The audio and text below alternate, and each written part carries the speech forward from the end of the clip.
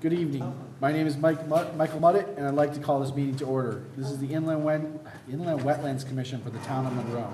Today's date is August twenty-third, the time is seven oh two PM. The first order of business is the Pledge of Allegiance. Please stand.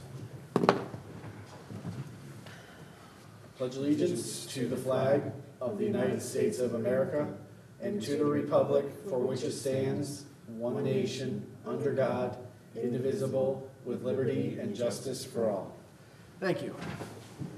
I'd like to introduce the members of the commission and staff present tonight. Starting at my far right, we have Ross Mastoracco. To his left, we have uh, Jim Stewart, who's a professional engineer and licensed land surveyor. I am Mike Muddit, I'm the chairman. To my left is Jason Grady, our vice chairman. To his left is Donna Shinsky, our inland wetlands and land use coordinator. To her left is Scott Schatzlein, town engineer and land use director. And in front of her is Rebecca Wood, who is our recording secretary. Before we start, I'll read the mission statement and how the meeting will proceed. The objective and purpose of the Inland Wetlands Commission is to provide for the overall protection and preservation of the inland wetland watercourses within the town of Monroe. In the normal course of our meetings, we'll hear public hearings and other applications. The protocol for public hearings is to have the applicant make a presentation or representation to the commission, during which and after which the commission will be asking the applicant questions. The commission will then review town staff and independent comments. The meeting will be then opened up for the public and comment. I will ask that all comments be made to the chair of the commission. Any, any, all, after any, all questions pro and opposition of general nature are made, the applicant will be given an opportunity to respond. It's not necessary in, that the applicant respond, but generally in their best interest to do so. There's no further opportunity for new questions unless new materials entered into evidence during the testimony of their response. Please keep any comments all pro, con, and specific to inland wetlands related matters. Other applications that do not involve a public hearing will follow a similar format, with the exception there'll be no public comments allowed. The meeting follows our published agenda unless otherwise amended. Are there any changes to our agenda tonight? Well, I had planned to let um, some of the other business go first, uh, under um, extensions and other. I noticed that only one of those people is here, so I guess we'll go, I would suggest that we go forward with that one. Uh, Initially, it'll just take a few minutes, and that is, um, uh, what's I? Item 10, Thank you. under time extensions, it's I 6 31 82 Cottage Street and 42 Sandbar, Mountain Laurel Estates. And the request is for a five-year extension? Okay, and we'll put that right after our general public participation portion Okay, of our agenda. yes. Okay, Thank you, Donna. any other changes? Um, no, I don't believe there are. Okay.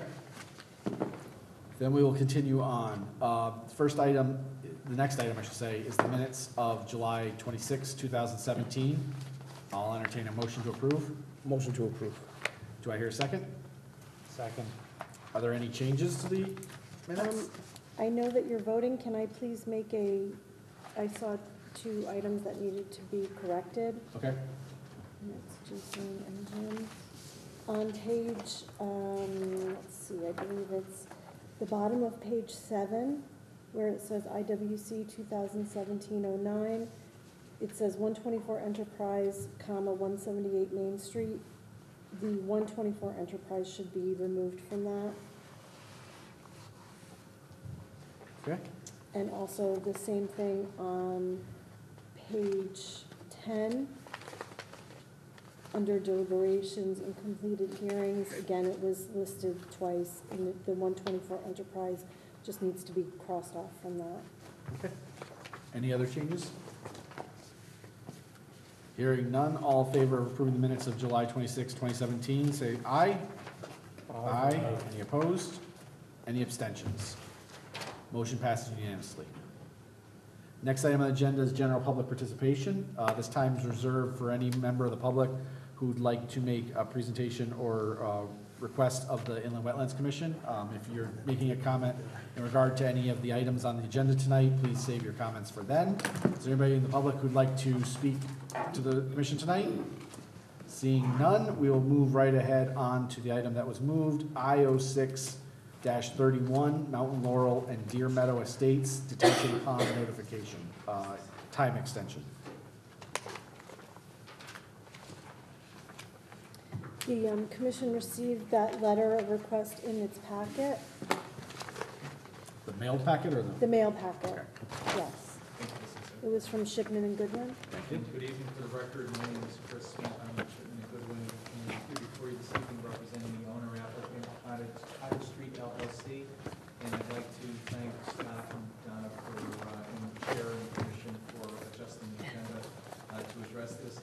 Uh, this is, uh, is simply, uh, in, in a request for a five-year extension on a wetlands permit that was approved after an appeal back in two thousand and eight. As you're aware, the, uh, the original application was approved, five-year time period. There was a public act in eleven oh five, uh, that, um, basically kicked everything out four more years, and it was referred to affectionately as the, uh, home builders uh, relief statute back at that time because of the downturn in the essentially kicked everything out, subdivision, wetlands, and site plans, uh, for that four-year time period. Uh, We did get confirmation of that from this commission, and uh, I did attach that letter. Uh, Lois had actually signed as the secretary uh, back in, I think it was 2012, uh, confirming that uh, we were good through October 21 of this year. And uh, so we appear before you this evening under the statute, and as provided by the statute, I respectfully represent that there has not been any, any enforcement or violations at the property, and that there certainly has not been a substantial change in circumstances. There's been no activity. It's a one hundred and twenty-nine acre parcel. The activities were approved, uh, that were approved were associated with a fourteen lot cluster subdivision on that one hundred and twenty-nine acres. And the uh, Steiner family, which is Cottage Street LLC, is, uh, is hoping that things will continue to get better than they even are now. uh, That would, enable them to go forward uh, with uh, building out that subdivision. But in the interim, again, uh, we're respectfully requesting that the commission grant a five-year extension as provided by the statute. Thank you, sir. Any questions from the commission? To the best of office knowledge, that meets the spec of the, the state regulations? Perfect. Okay, I'll entertain a motion. Motion to grant Uh, the five-year extension. Mo- Motion from Jason to extend, to extend the additional five years. Is there a second? Second? Second from Jim. Any further discussion? Hearing none, all in favor signify by saying aye. Aye. Any opposed? Any abstentions? Motion passes unanimously. Thank you very much. Thank you. Enjoy the rest of the Have a summer. good night. So you, were you around then? You were, so it doesn't matter? No? Not an I extension. don't, It's within our- I don't know if you want to adjust as you go along, but um, Mr. Chesnowski just came in, and he also had a, just a quick question for the commission, instead of sitting here through the whole thing, and if, if the uh, other applicants don't have an issue with that. Is the commission good with that? Is uh, the other applicant here tonight good? All right. That would be under other for uh, 160, oh, no, um, got the wrong one. It's 65 Hammertown, 65 Hamilton. Meadow uh, Estates Detention Pond modification. Not one hundred. Deer No. Meadow? Deer Meadow Estates. Deer Meadow Estates. Oh, my God, yeah, okay, I said it right. Yeah, this one, right? Yeah. Okay, sir. Good evening, commission members. Um, I'm Mike Chesnowski, residing at 65 Hammertown Road, developer of Whitetail Drive and Deer Meadow Estates. Uh, I have a quick discussion uh, to go over with you. Uh, The plantings on um, basin number two, detention beach, so if you don't mind sharing them. And I'll make, try to make this quick. Just a- an issue about the, um, the shrub plantings. Well, enough. Um, I've contacted our environmental um, specialist on the plants. Uh, We have 75 total plants in this basin consisting of shrubs and seven trees. Um, The, as, if you look at the first page, that's the area, which is over 240 feet long, and the highlighted uh, areas are shrubs. and trees. Uh, My question to the environmentalist was, we ordered um, the shrubs, they required to be three to four feet. Only eighteen to twenty of them are just a little less, like three foot, two six to three foot in that range. The rest are conforming. Uh, The trees that we planted are, are, we're planting are eight foot. Uh, They're required to be six foot. He thought this was an equal balance, and he didn't have a problem with it. Um, Page two shows the list and the actual sizes. And if you could see, the black gum is actual eight foot, it's required to be six foot. The speckled alder is two, two foot six to three foot, they're required to be three to four foot. The same with the shadblow. Everything else is three to four foot as required. Um, Scott thought it would be a good idea I come in and get your approval on it.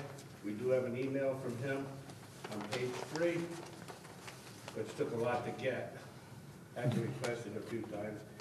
But he said that, uh, which is James Cohen from the environmental specialist, I have reviewed the plant order and the size are acceptable. The plant's order accomplishes the purpose of the planting plan and is acceptable. And I'm just looking for your okay on that. Any questions from the commission? So it's my understanding that just really the speckled, speckled adler and the shade blow are the ones that are, Shadblow, yes. shad blow, that are a little bit smaller.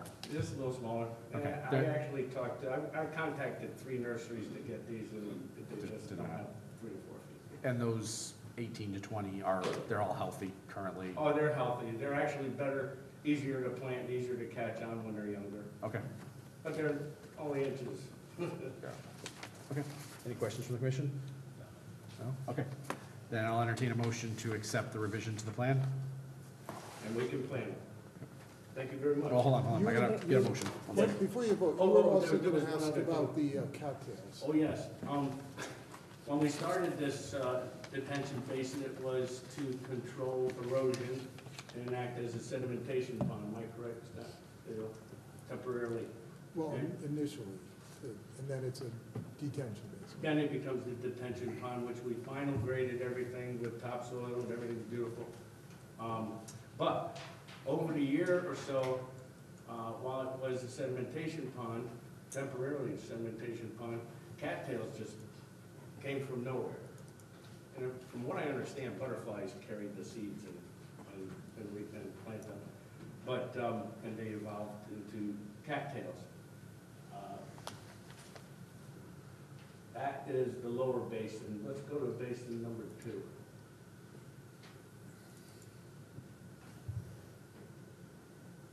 That's the lower basin, basin Well, one. That's still the lower? Yeah. Oh, I'm sorry.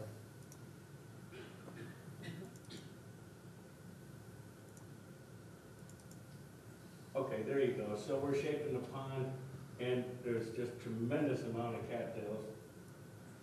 Um, But a lot of them were above the grade that is required for the basin bottom. So I had to remove them, but that group right there was on the slope, which is out of the basin bottom. I, I left them for now. And then, um, the rest of them are gone.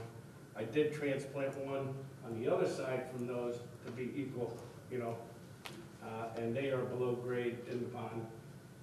Um, The rest of them are gone. So I just want to know if you'd like to keep the cattails that uh, came naturally. Yeah, they're not considered invasives, or I don't think so. invasives, I don't No. believe so, they're everywhere, right? So, yeah, I, I don't see a problem with that, There's so. not a cattail on my property or or the area, I- in the area that I didn't know of, that, that I don't know where they came from. All right, I'll entertain a motion to accept the revisions. So moved. Do I have a second? Second by Ross. Any uh, discussion? All in favor signify by saying aye. Aye. Any opposed? Any abstentions? Motion passes unanimously. Thank you very much. Thank you. Have a good night. You too. Okay.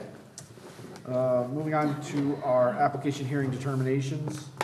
Uh, IWC 2016-04A1, 34 Enterprise Drive, All-Star, All-Star Transportation.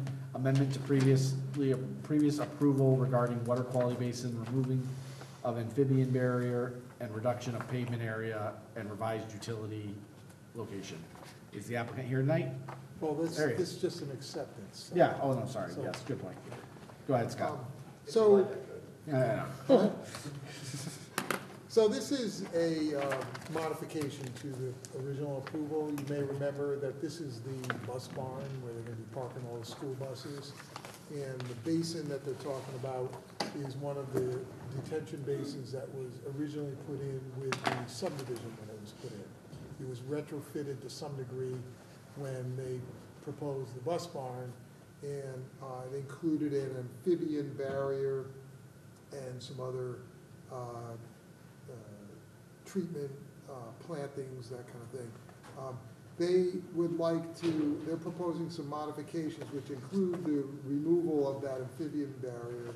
And the uh, site layout plan was modified to reduce some of the pavement area and some of the utilities were relocated. So they're uh, coming in with those uh, alterations to that original uh, application and approval. Leave off the Okay. others. And just for clarification, the last application was a public hearing or a regular hearing? It was public. It was a public hearing.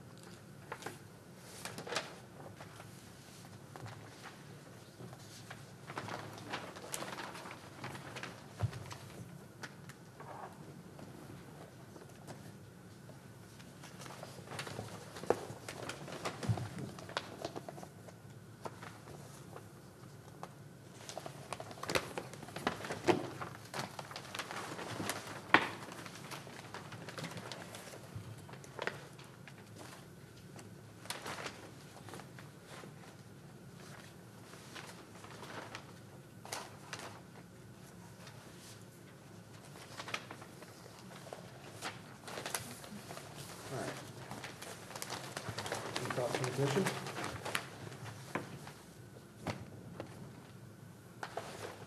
I, I move that we go to a standard hearing, Regular hearing? Okay. Regular. uh, not- regular hearing. Not a public, okay. Do I have a second? Second. I have a second from Jason. Any further discussion? Hearing none, all in favor signify by saying aye. Aye. Aye. Any opposed? Any abstentions? Motion passes for a regular hear, or, yeah, regular hearing passes unanimously. All right. Moving on to our subdivision reports, recommendations to the Planning and Zoning Commission. Uh, we'll also take this at the same time as, uh, IWC's public hearing on the, um, road construction, but IWC 2017-07, 30 New England Materials LLC, Pepper Street Business Park, Section Six, four lots re-subdivision.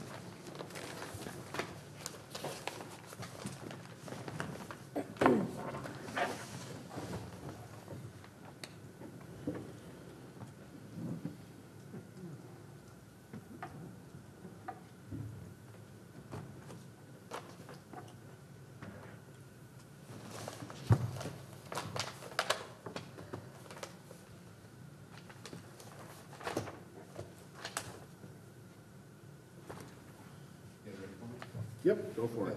Please introduce yourself for the record. Good evening, members of the commission. For the record, my name is Kevin Solli. I'm a licensed construction engineer in the state of Connecticut with Solli Engineering. Office is located at five oh one Main Street, uh, Northern Monroe.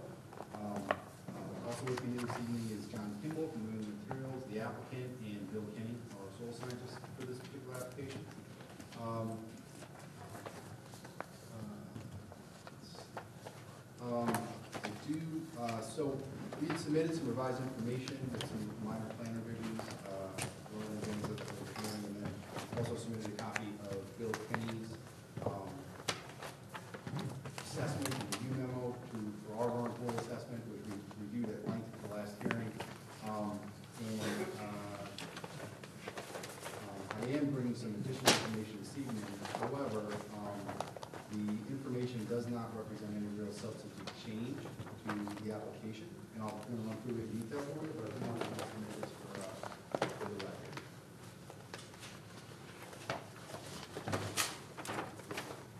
And and this information is primarily based on some further comments that we got from town staff and the town planner, which unfortunately we got very, very late. There seemed to be an, uh, uh, some sort of disconnect where the comments were done in mid-July, but we didn't get them until earlier this week, so we were a little bit of a, of a a disadvantage there.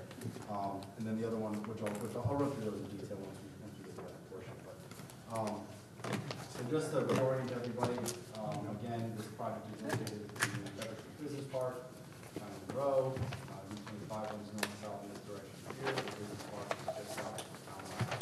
Um, This is Newtown. So this is some further, elevation of the Susan area, Route twenty-five here, Cut Creek is removed, the business parking lot, access off the northern, uh, here. Um, Park being developed over, over several phases since two thousand and two. Uh, this application is for thirty-six Timothy Hill Road, which is here. This project did receive approval, both in the wetland and planning zone approval for a five lot subdivision, which, which was previously approved, and we're proposing to modify that, um, application to a four lot subdivision, which is what you have before you. Uh, there are wetlands on the property, in addition to, um, some road rules, which we've done a exhaustive study of, and Joe Kenny can talk a little bit more about that, uh, a little bit later. Um, this is the previously approved subdivision layout, you can see five lots were, um, were previously approved, the road, uh, was an extension of Independence Drive with two wetland crossings, connecting Timothy Hill Road, which was renamed Independence Drive as part of those previous approvals. Our proposal is to essentially shift that road further south. Um, we are proposing two wetland crossings, those crossings are with, uh, full span, precast concrete bridges, so there is no direct wetland impact. Um, and that's what- that's what, uh, So, um, to touch on the information that was submitted to the commission, we provided a few things. Um, just to, so this is the road layout from our, from our uh, site plan, our, proposed grading to accommodate the crossings and, uh, grading associated with the roadway itself. Our soil erosion sediment control plan, our utility plan, again, all subsurface utilities, uh, which is consistent with what's done in the balance of the park, and then our, uh, planting plan. You will notice that the landscape plan that was submitted did have additional plantings for some of the, um, restoration areas, for some areas that are being disturbed as part of, um, tree clearing to to accommodate the installation of the bridges and the grading around those areas. We did add some additional plantings in there that would provide some additional restoration plantings, which is something that we discussed at the previous, app- previous public hearings. Um, and, and we had to prepare some responses to some of the comments. So, um, some of the discussion had to do with our potential development plan, and this is the reason for one of our submissions, or one of the the revisions is, um, we had previously been showing lot twenty-nine, for this to be a property line which extended, uh, due north, and it had a slight, um, it had a a width at its narrowest point of 137 and a half feet. There was a difference of opinion and an interpretation on how that lot would be so to make sure there was absolutely no question from an interpretation question, we've actually, um, modified that, uh, lot line to ensure that there's a minimum of one hundred and fifty feet for the entire depth of that front portion of the lot. So we've had to, we basically eliminated the, the disagreement we had with the town planner, so there's no question for that. So we wanted to make sure that this commission had a revised subdivision plan, overall layout plan, and potential development plan to reflect that change. So that change of that property line does not impact the road layout, does not impact any of the proposed improvements associated with that road.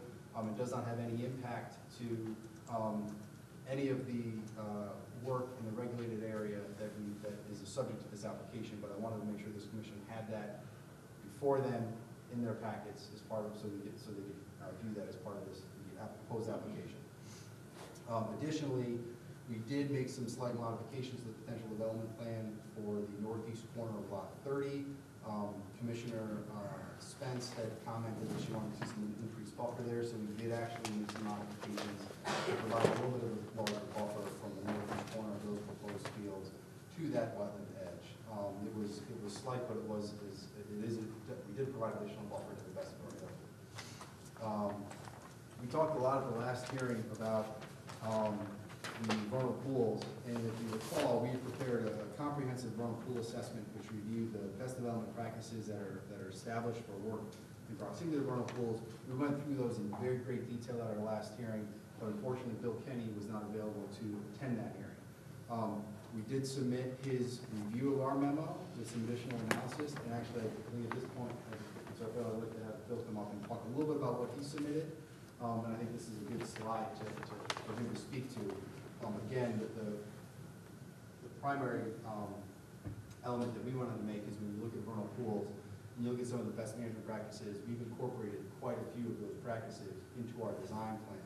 But further, there's a lot of guidance document that talks about directional corridors for these uh, amphibians which uh, breed and live in these vernal pools or in the terrestrial habitat.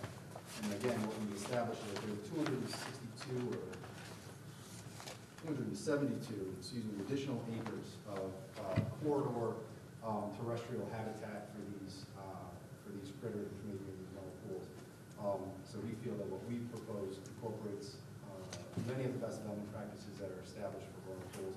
And again, we have connectivity to um, uh, far-reaching uh, corridors uh, for these critters as well. Another item that was requested was some clarification on, of this extensive area, how much of this was controlled by private developers versus either municipal or public water supply watershed land or owned by Aquarion. So we did provide um, uh, an updated figure which does show this area in in purple or magenta. This represents all of the land that's currently owned by the town of Monroe or Aquarion, and then uh, to the uh, north, that which wraps around the park, in this location here, you can see the very large pockets of land which are, are um, publicly held, not privately held. So the likelihood of development in these parcels is, uh, uh, is low. Um, So we feel that these areas are going to be maintained and preserved. And again, even through here, even though this isn't privately held, even though this is privately held, this does, um, the the blue hash through here is actual um, wetland area. So this is also an area that um, will be maintained essentially in unless this commission gives approval for wholesale filling of, of wetlands, which would impact this, this habitat this corridor. So we're, we're, we're very confident that what we propose, um, and the analysis that we provided, um, should, should more than satisfy the commission's concerns regarding this. And with that, I'll actually have Bill come up and talk a little bit more.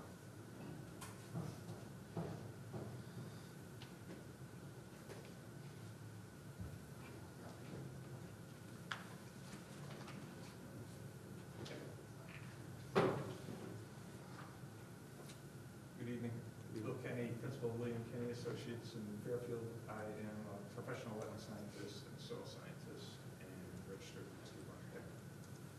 Um, So what we did was, we, we reviewed work that has been done primarily, or or done by other professionals in the past with regard to this property. There's a long history of this property, a lot of studies that were done on the uh, wetland habitat in the past over a number of years, and uh, reviewed the uh, currently proposed plan, the approved subdivision, and the memo that uh, Kevin Solli's office together as well with regard to the.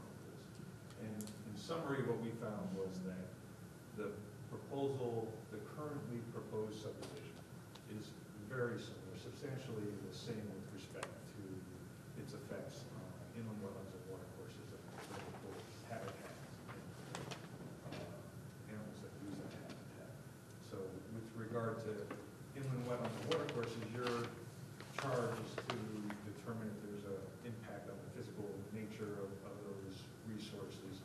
And uh, that comes down to direct impacts, activities within the wetland itself, or activities outside that might occur from soil erosion, sedimentation, or stormwater that could have an impact on the wetland and watercourses. So the approved plan had all those best management, management practices that are in place to prevent those adverse impacts. And Similarly, this plan has those, so with regard to potential for impacts from soil erosion, sediment control, and stormwater, there's substantially the same the The amount of activity within a wetland, you have the uh, crossings that are substantially the same, and then for the actual development of the individual lots, it's, it's very similar. This uh, proposal, uh, on average, is generally, the limit of disturbance is 60 feet from the wetlands. There are some areas where it's closer and some areas where it's more, but it's, it's it- overall, in our opinion, similar to what you've already approved uh, uh, with the previous subdivision. And then with regard to the impacts for pool species, uh, we found that what we, what we, uh, or the research indicates that you want to look at preserving a certain amount of habitat, uh, what they call a vernal pool envelope within 100 feet of the vernal pool itself. And Sorry. Not you. So you, uh, to avoid uh, all impact to the population of species that are breeding in a pool, you don't want to exceed the twenty-five percent disturbance to that forested habitat, either within the first hundred feet or within the one hundred to seven hundred and fifty feet. Uh, The, both the proposed and the approved plans are well below the twenty-five percent within that first 100 feet. And then when you get to the, um, Table the next slide. okay. Let me change it here. Just push the space bar or the arrow. So, working with uh, Solli Engineering, we developed this table to look at these different uh, percentages. And and so you have here this previously approved and proposed activities, and you have uh, the critical terrestrial habitat, so that's the zone from 100 feet away to 750 feet away. And you have the zone, the vernal pool envelope, which is the zone that's within 100 feet of the pool. And it's really these, this column here and this column here that uh, we were looking at. And uh, so if you start with the vernal pool uh, envelope, working your way out from the vernal pool, you could see here the, the critical threshold is 25%. So for the previously approved, on average, it was 10%, and these are the disturbance areas within each pool, pool two through seven, uh, for both the proposed and the approved. And then when you have the uh, uh, critical terrestrial habitat, the zone from 100 feet to 750, uh, again, the, the, where you want to try to avoid any effect on the salamanders or frogs that are breeding in the pool and living in that forested habitat, you want to keep it below 25%. The approved had on average about 43% disturbance. Now, that doesn't mean that you're eliminating every animal using that pool, you've just reduced their population to some extent, and it's very difficult to say what that is. But with the approved plan, it was about 43%. With the proposed plan, we're around 47%. And I, in, in our professional opinion, that those are substantially the same.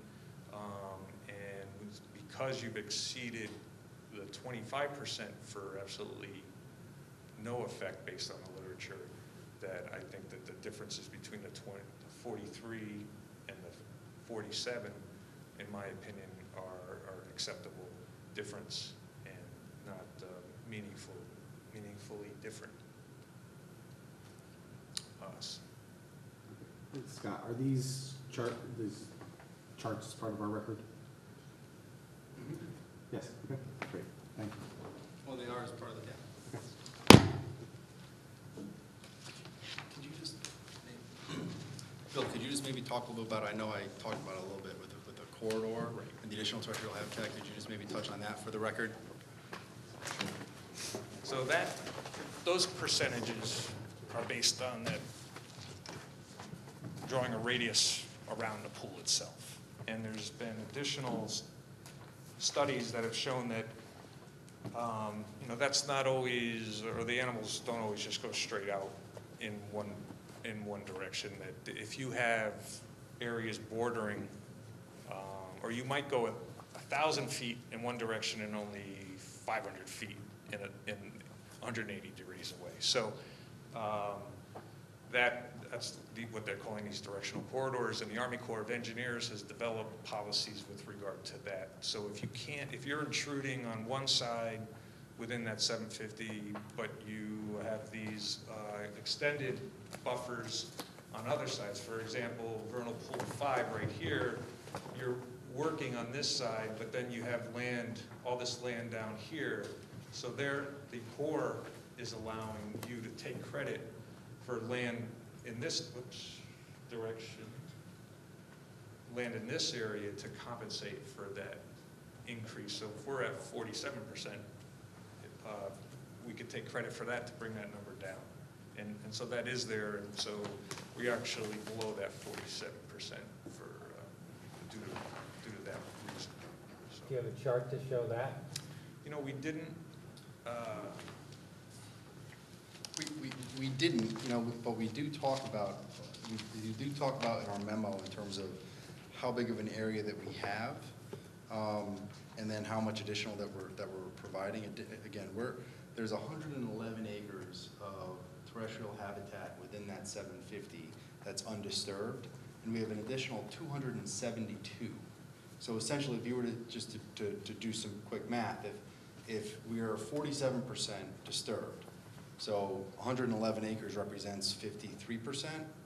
If you add another two hundred and seventy-two acres, that's another, it's a lot, it's a lot. Um, I can do the math. Um, but it's a lot of percent. Um, No, it's, so you're talking about, uh, let's see.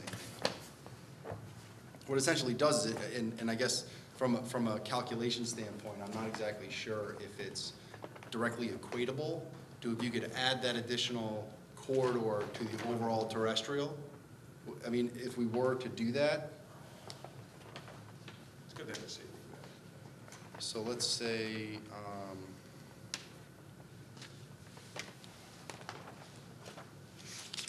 so let's say there's approximately two hundred and nine acres of terrestrial habitat, of which hundred and eleven is undisturbed. So if we were to add two oh two, that would be four hundred and eighty-one acres of terrestrial habitat. Um, So ninety-eight acres are disturbed, so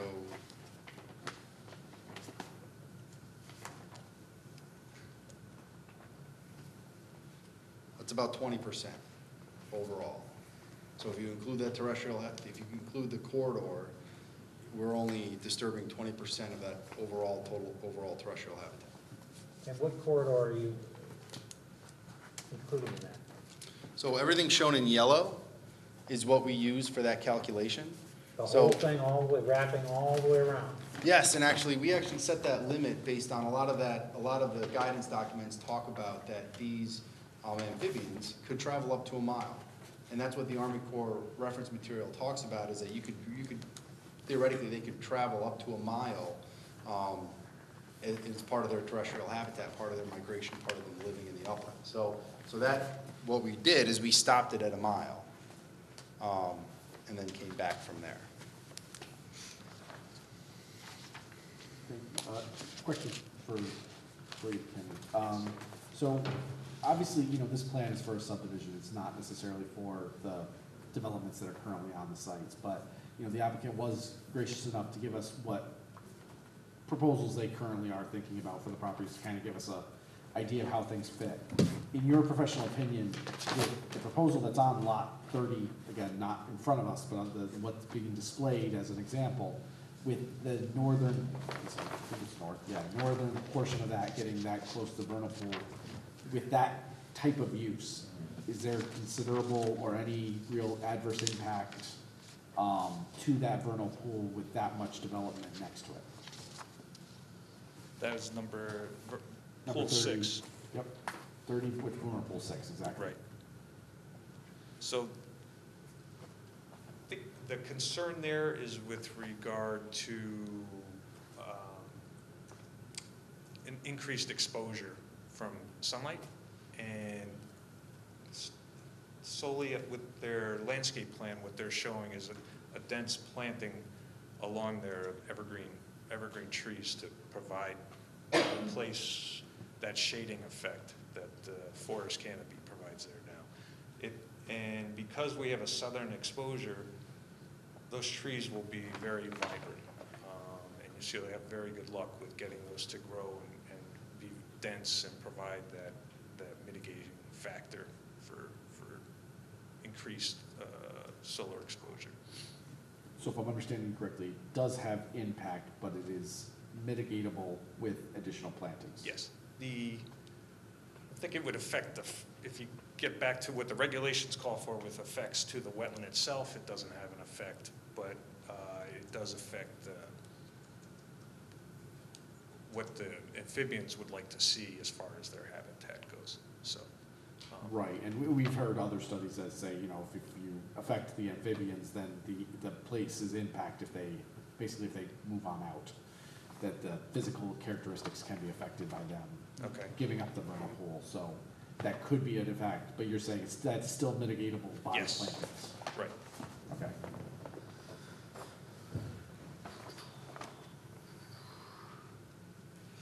Now, the plantings that, again, with the, the plan's not in front of us, but plantings are all within the limit of disturbance, right? So they're not expanding past the limit of disturbance, well, in number six, but yeah. Oh. Which again, you don't have the planting plans up there right now, because it's not an application in front of us. Correct. They haven't been designed yet. Yeah, but I'm really just trying to understand, is it possible to protect vernal pool six with that much development? Where I'm basically standing and, uh, you know, express my opinion is that that lot has a lot of development. Sure. It's a, it's a big lot, lot of development. Do I think something can be developed on that lot? Yes, and it meets that rec criteria. You know, it's, it's a, it's a ten acre lot, you definitely can build something on a ten acre lot, um, and be nowhere near vernal pool six.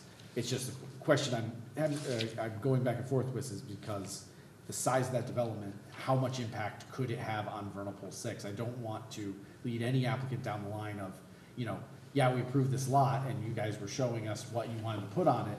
It, it's not, we're not trying to mislead anybody, just trying to make sure that the, you know, the vernal pools are protected per our charge.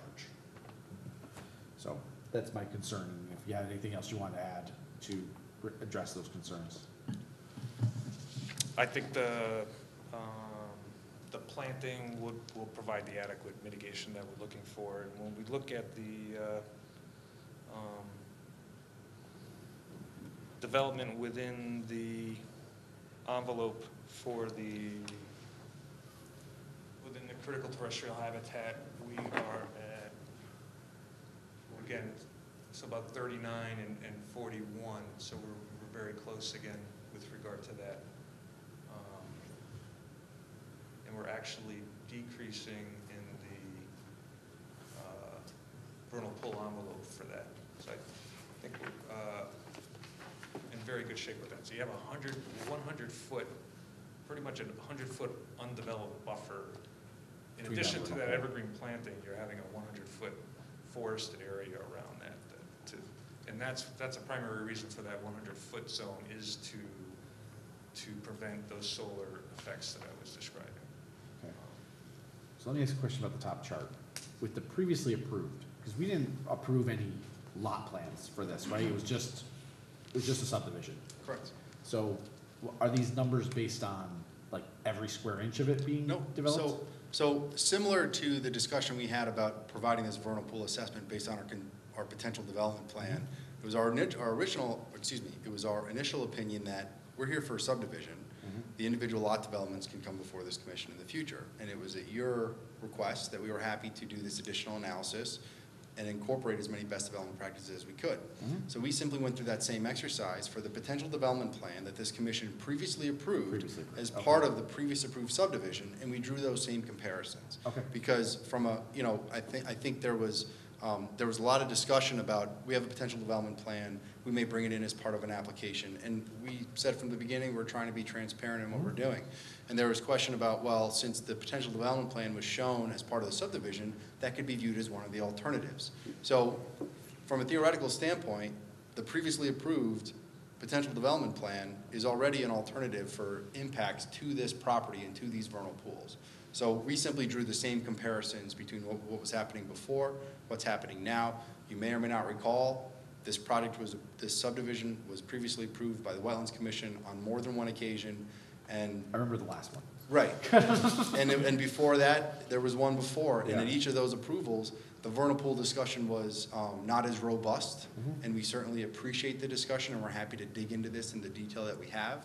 But I think this essentially shows the comparison of what was previously approved and what's currently approved, because that is No. something that, I do appreciate you going back and figuring out those numbers, because I was just trying to figure out how those numbers came about, because, you know, we never approved any plans or anything like that, and, you know, we didn't get the, the detail of options that we got this time to see it, so I was just wondering where those numbers came from, and, you know, I'll believe you.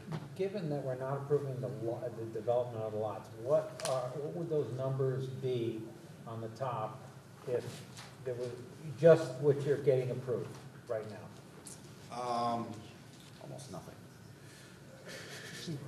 just the roadway, I mean, it'd Yeah. be nominal, it'd be well under the twenty-five percent. Um, I mean, you can see now existing conditions is approximately twenty percent.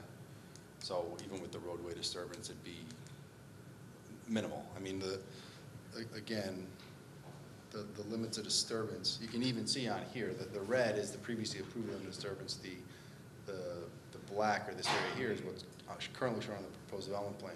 The limit of disturbance for the road essentially just kind of cuts through here, so it's, it's a much smaller area. So if you were to imagine this yellow expanding, And then the, the graded part gets reestablished, so that potentially comes back anyway. correct? Right. And one other, one other component actually for, for this vernal pool six, which is a little bit interesting, is, so they talk about terrestrial habitat, and part of that is they want it to be forested, they like to have the, the tree cover. Now, there's a little, small portion of this lot, um, trespassed with ATV riders, and it actually extends across the property line from here into here. As part of this, you know, this can be, this can be reforested to restore some of that terrestrial habitat, which is currently disturbed not, not at the hand of the applicant or the property owner, it's a, it's another civil matter, I guess you'd say. Understood.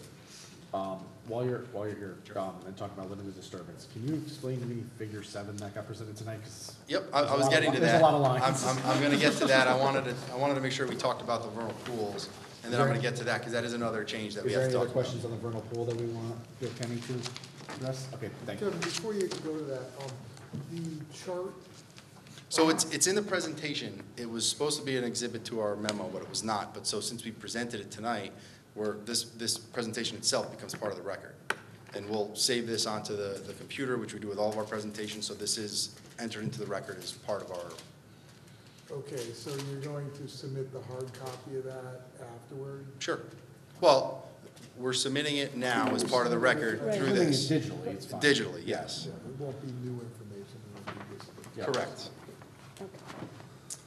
Um, So I'm, I'm gonna run through just some of the other minor tweaks that we did, and then we're gonna get to that, that limited service plan, because that is something that I wanted to make sure we discussed this evening. So we added some additional plantings through here to address some of the mitigation for some of the crossings. Um, You know, some of these areas that are gonna be temporarily disturbed, we wanted to add some additional plantings that was discussed at the last hearing. One of Scott's comments is, uh, we're putting in a uh, perforated under drain for this basin, so we are adding that to the, we are adding that to the plan. That was part of what uh, was in the submission materials. Um, We just did some clarification on some of the stone walls. We were, we talked about a lot at the last hearing, and we talked about, you know, we're basically relocating the stone walls that exist out there. We did some further investigation, and, and a lot of the stone walls, it seems like people pull up the Timothy Hill Road and walk in, and they just, they've just taken it. So a lot of the stone walls aren't actually stone walls, they may be one course of, of wall, the foundation that's left. So when we actually establish what we think we have in terms of material, what we've done is we've, we've made it um, consistent with what was previously approved, which essentially had a stone wall um, in between each bridge crossing um, uh, to the north and south of the roadway. And we've, we've uh, mimicked what was previously approved. We do have a gap in here, um, really just, just- this is because it's access to this detention basin. And this basically eliminates some of the gaps that were shown in the previous plans as well, but we modified that also. And then the limited disturbance figure. So there was, um, we had submitted something that was in your packet, and uh, we took a little bit of a closer look, and there was um, a little bit of a uh, misunderstanding, and um, we had some clarification. And I think uh, Scott had talked to Casey in my office, and we went through this again, and I did submit for the record. So what this plan shows, actually, it shows, it shows three different limits of disturbance. There is the previously approved limit of disturbance for the former previously approved roadway. There's the currently proposed limit of disturbance for this application, and then there's the actual limits of disturbance on the property right now. And that's what, yes, today. So we went out, we actually surveyed those limits, our surveyors went out there, we had, we had also placed a number of flags for the commission as part of their site inspections. I'm not sure if anyone went out there and saw that, I hope, I hope, certainly hope you did. So what this plan shows is, the blue was the previously approved of disturbance. And as, and as we've discussed, the road was considerably further north. So this disturbance kind of, this corridor came through this area here uh, and continued. Um, The uh, orange is what our currently proposed limit of disturbance is on this application. So you can see the limit of disturbance here and uh, to the north, and the green reflects what's currently disturbed on the property. So essentially, um, the disturbance that's out there is more consistent with the current application than the previously approved application. Now, um, obviously, that disturbance was uh, established um, outside of what was previously approved. We have an application before the commission which reflects the limits of disturbance as, as currently established out there. We have proposed a design that demonstrates um, uh, considerable replanting and revegetation in this area. Um, And we've offered expert testimony that this proposal will not have adverse impact to the wetlands and doesn't have any direct wetland impact. Um, Again, you know, there's, while the- the previously approved limit of disturbance extended much further north, there's a very large area through here that will not have to be disturbed and and will not be disturbed, uh, provided that this application is approved and it can move forward. So um, I, I- this, this was one of the slides that I was going to get to, because I did want to go through this in detail with the commission. Bit confusing between current versus.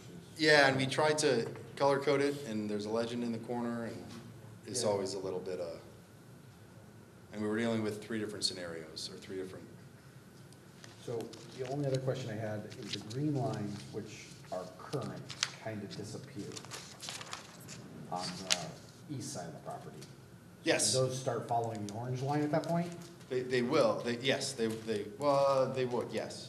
Okay. And, and again, one of the things that we discussed at the last hearing, actually, all of our previous hearings, was that there was, you know, there was a, what the commission's desire was in terms of seeing out there in terms of limited disturbance. And we, we collectively, I believe, agreed on, we're gonna focus on the two crossings and the, in the immediate vicinity around the, the- the wetland. So that's what we focused on in terms of sending our surveyors out there and, and- and all that.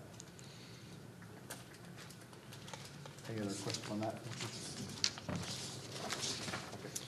Uh, Some additional details we provided, we did provide a detail for a catch basin top for um, Cape Cod curbing. Um, We've added that detail to our plan set. Um, And again, this just shows the, the, the- this is the previously submitted subdivision plan. You can see this property line just basically extended um, almost due north. And then this was the former configuration. The red shows where we just moved the line to make sure we had that minimum 150 feet throughout. Um, And this is the subdivision plan that's currently, that we submitted, presented to the commission.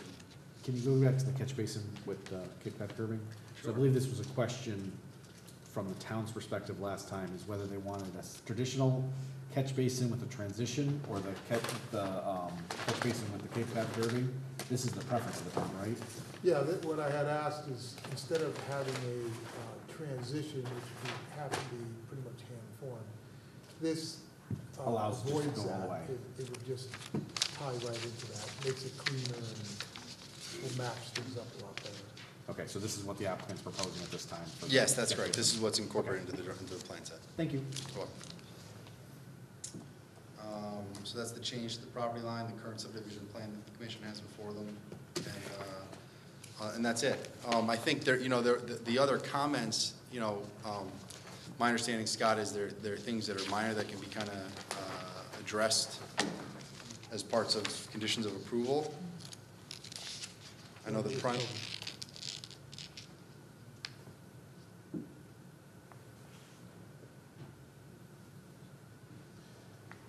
Well, the, the commission should, I'm assuming the commission's reading the comments and there's some uh, subjective items on there if you have any questions or whatever. Um,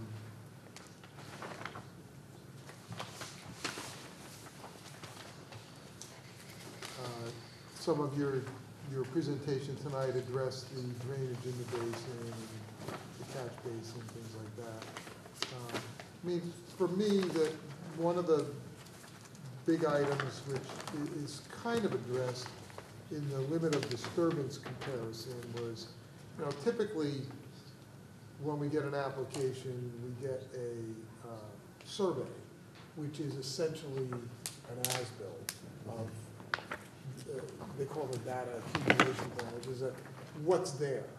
Um, And I had hoped to have that so that it would be a better uh, idea of what we're dealing with. Um, I think that, you know, what I'm hearing from the applicant is that would be time-consuming and costly. Um, And in lieu of that, they located disturbances, and it- we don't really have that in a, in a survey, certified survey format. It's more of a uh, testimony and a Graphic. and they, they, you know, flag things and they're saying, look, get out there and look at it. Uh, This is starting to get really complicated because of all the different approvals and the work that's done and the work that's proposed and the work that was proposed and not done and, you know, it's, so I also recognize that it's, it's not your typical application from scratch either. Certainly is not. So that was my comment number, um, uh, for, uh, technical one, so. um, I, um, I think the, the answer to your question, Kevin, is really their interpretation of the comments, if they have any questions Okay. relative to that. They're not prepared to do anything that's needed at this point. Yep. Is there any other questions from the commission? Anything specifically to Scott's comments either? Okay, Regarding, regarding the, the cut, you have a significant cut to obviously put this road in. Um, Where do you foresee all that, all that material going? Is that, is that proposed, I mean, if this development were approved as it is, is this, all that fill going on these lots? Or are these lots balance themselves? No, the, the, the majority of the material from the road will be exported from the property. So it would have to be, because, Yes. okay.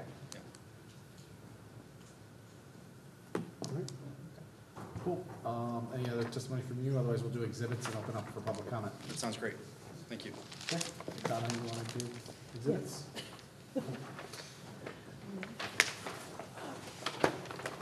So did you mark down one of the exhibits being their presentation material? Just so we remember to get the follow-up paperwork.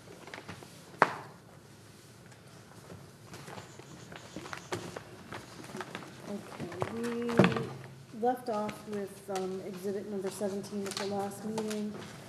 So I'm going to start with exhibit number 18, which was a response to the commission comments by Casey Birch dated August 15, 2017. Exhibit 19 was a small map um, titled LOD within wetland crossing by Solli Engineering, document dated August 15, 2017. Exhibit twenty was a map, one sheet proposed for lot subdivision by Solli. The document was dated August 15, two thousand seventeen. Um, Exhibit twenty-one is a five-sheet map set that was titled Proposed for Lot Subdivision by Solli Engineering. The document was dated April 25, two thousand seventeen, revision date August 15, two thousand seventeen. Exhibit twenty-two is updated uh, town engineer comments by Scott Schatzlein. The document was dated May nineteenth, two thousand seventeen. The revision date was August twenty-first, two thousand seventeen. Exhibit twenty-three uh, was supplemental information, uh, cover letter and the small LOD map by Kevin Solli. The document was dated August twenty-third, two thousand seventeen. Exhibit number twenty-four was a map set, three-sheet plan set titled Resub- subdivision map of thirty-six Timothy Hill by Accurate Land Surveying. Uh, the document was dated April twenty-fifth, two thousand seventeen, July, and revision date was July eighteenth. And exhibit twenty-five will be the electronic submission that he displayed tonight. And that's it. Then we will open up this hearing to public comment. Uh, we've opened it up several other times through our hearing process, but this will be the final time. Is there anybody who'd like to speak out in support of this application? Is there anybody who'd like to speak against this application? Is there anybody who would like to make general comments about this application? Okay, hearing none, are there any other further questions from the commission for the applicant, town, anybody? Nope. Any other further closing remarks from the applicant? Uh, Yes, thank you. Just, um, again, um, for the record, uh, we've been talking at length about uh, the proposed re-subdivision of 36 Timothy Hill Road. This project and this property has been previously approved by this commission for a uh, new subdivision roadway with two wetland crossings. The current application has been designed um, to uh, essentially replicate what was previously approved. There, um, we've provided evidence in the record that demonstrates that the proposed bridge crossings do not direct, do not result in any direct wetland impact. Um, We've provided um, extensive uh, testimony and evidence that the proposed project will not have any adverse impact to the wetlands. We've done exhaustive vernal pool assessments and surveys, and we have not had any um, uh, testimony to contradict anything that we've presented to this commission. So we feel that um, what we've proposed is consistent with the Monroe and the Wetlands regulations, it's consistent with the previous approvals granted for this project, and we respectfully um, uh, request approval of this application. Thank you very much. Thank you, sir. Okay, then we will close this public hearing. All right. Moving right along, uh, regular hearing, we're going to move into, sorry, we're gonna move into our regulated activities, section four. Our regular meet, our regular hearings, I 2012-15 A one, one nineteen Bart Road. Okay, uh, Sasmatula, I hope I pronounced that right, I'm sorry if I didn't, and Mastroni Representative Amendment to previous approval to relocate a a residential well. This is, uh, first here, first night of the regular hearing? I'm sorry? This is the first of the regular hearing, right? Yes, it is. Is the applicant here tonight? Um, They did. That will be Someone challenging. just left, just left out. Let's, uh, Do you wanna see if anybody's in the lobby? yeah, there was some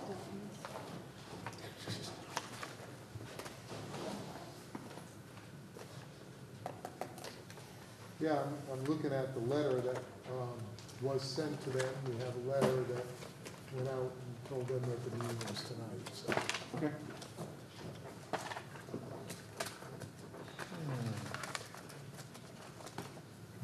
No?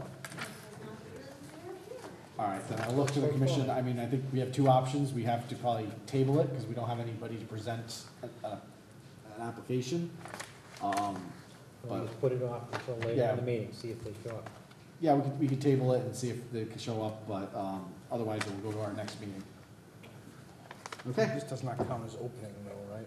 it does count as opening, we It opened it, does, yeah, yeah. yep, so our timetable starts, because Which there's still, there's there's plenty lots of of time, time. yeah. Yeah. Okay, uh, moving right along, IWC 2017-08, 124 Enterprise Drive, MJ and Ver- Veredia, so again, sorry if I mispronounced anything. Activities in upland review area to include grading, storm dam, uh, drainage, retaining walls, relocation of detention basin, plantings of, um, for the purpose of those permitted uses under section 434 of the Monroe zoning regulations. This is an opening of a public hearing. Um, it is not actually, I Oh, apologize. The It- agenda's wrong on that one. Yes, it's the, it's continued, it was continued from last, Continued to last week. Sorry about that. because that's what I corrected on the minutes. Done. Are those here? publicly recognized? No, No? they're Okay. not, I asked. All right. They're for thirty-five or two. All right, sorry, Kevin, whenever you're ready. No problem. If you could introduce yourself again. I will. Uh, Good evening, members of the commission. For the record, my name is Kevin Solli. I'm a licensed professional engineer in the state of Connecticut with offices located at 501 Main Street here in Monroe. Um, uh, With me here this evening is actually Pat Sullivan, our attorney. Um, uh, So uh, this is actually the second night of a public hearing for an application at 124 Enterprise Drive. Um, uh, at the last hearing, I believe Doug Rich from my office presented the majority of it, and Jim Cowan, our soil scientist, was also here. Um, And I'll just run through, again, for the commission, kind of where we're at and and, uh, what we're, what we're talking about. So again, just to orient everybody, here's an uh, aerial of the town of Monroe. Route 25 runs north-south along the uh, western edge of town. This site is located within the Pepper Street Business Park. Um, uh, Pepper Street runs, excuse me, Pepper Street shows a loop around Route 25 from the northern entrance of Pepper Street. Pepper Street comes in provides access to the business park, um, which is a subdivision that's been approved over many phases over several years. Um, 124 Enterprise Drive is located. Um, I believe it was constructed as part of phase, or section two, or maybe section three of the park, coming off of Pepper Street onto Cambridge Drive, and then turn left at Enterprise Drive. Uh, 124 is uh, uh, just south of the intersection with Independence Drive. So um, the site has been uh, subject to a number of previous approvals. In, um, the site is uh, 3.2 acres, approximately um, 0.24 acres of that is wet. The wetlands essentially follow the easterly property line along this location here.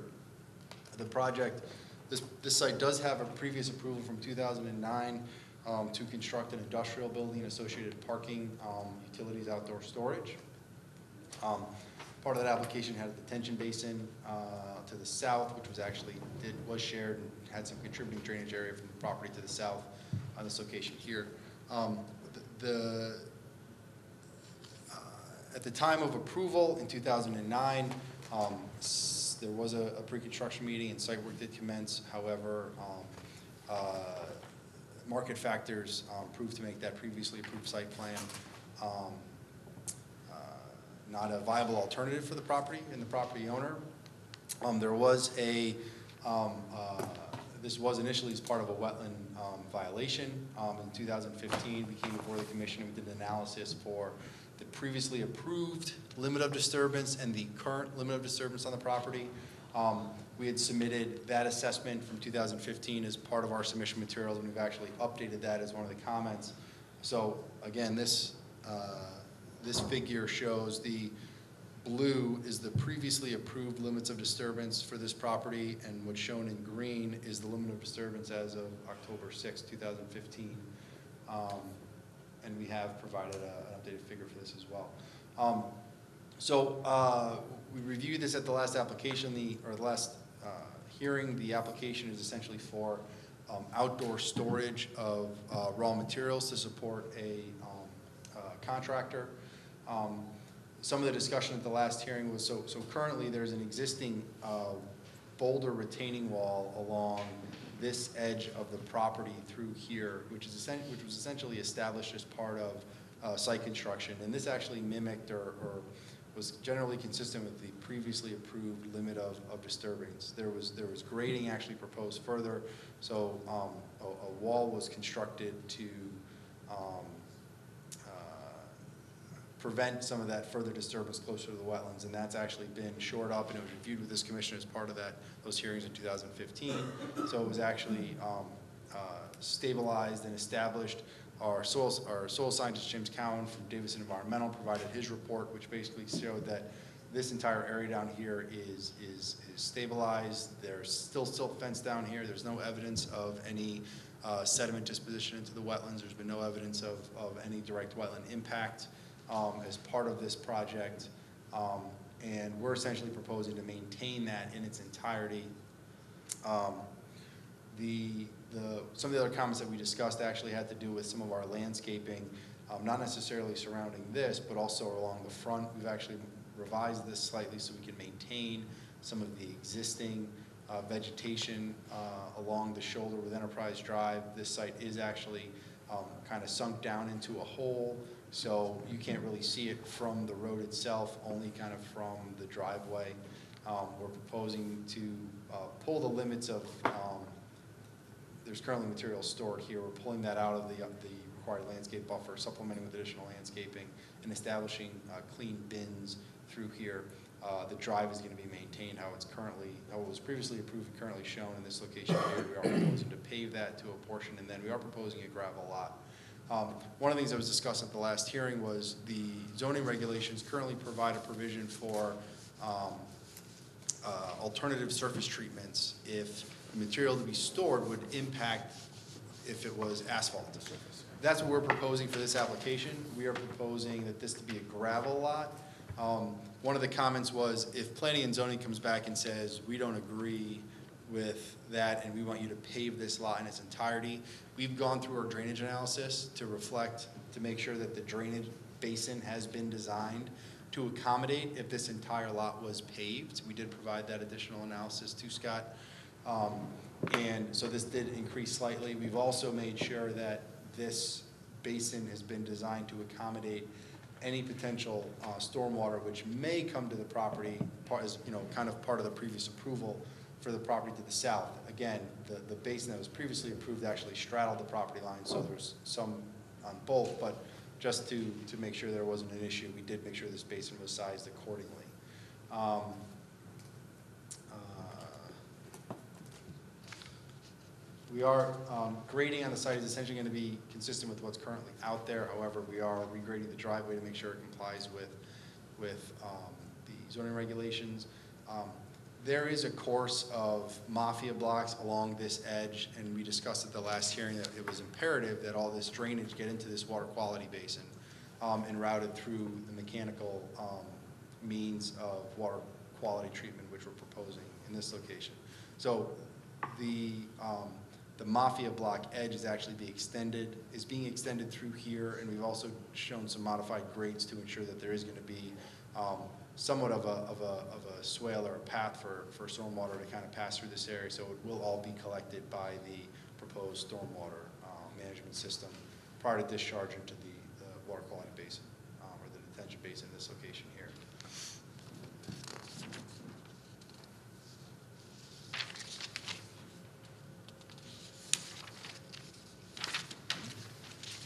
Our soil erosion sediment control plan has been designed in accordance with the 2002 Soil Erosion Sediment Control Manual.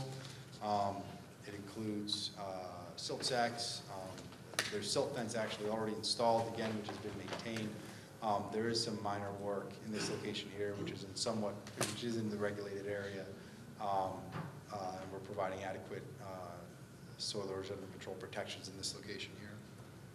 Uh, We did provide some additional photos to kind of show what that existing looks, what that uh, existing area adjacent to and within the wetlands looks like. You know, there's some, as you may recall, James Cowan, our soil scientist, uh, testified that there are some um, wind throw um, in this area, um, but essentially the, the, it is stabilized, it is healthy. Um, There's been no evidence of any direct wetland impact as part of the activity on the site. Our current application does not propose any direct wetland impact, and we've provided um, uh, our design in accordance with the Soil Erosion Control Manual and the 2004 Water Quality Manual as provided by DEEP. Um, So with that, I'd be happy to answer any questions the commission may have.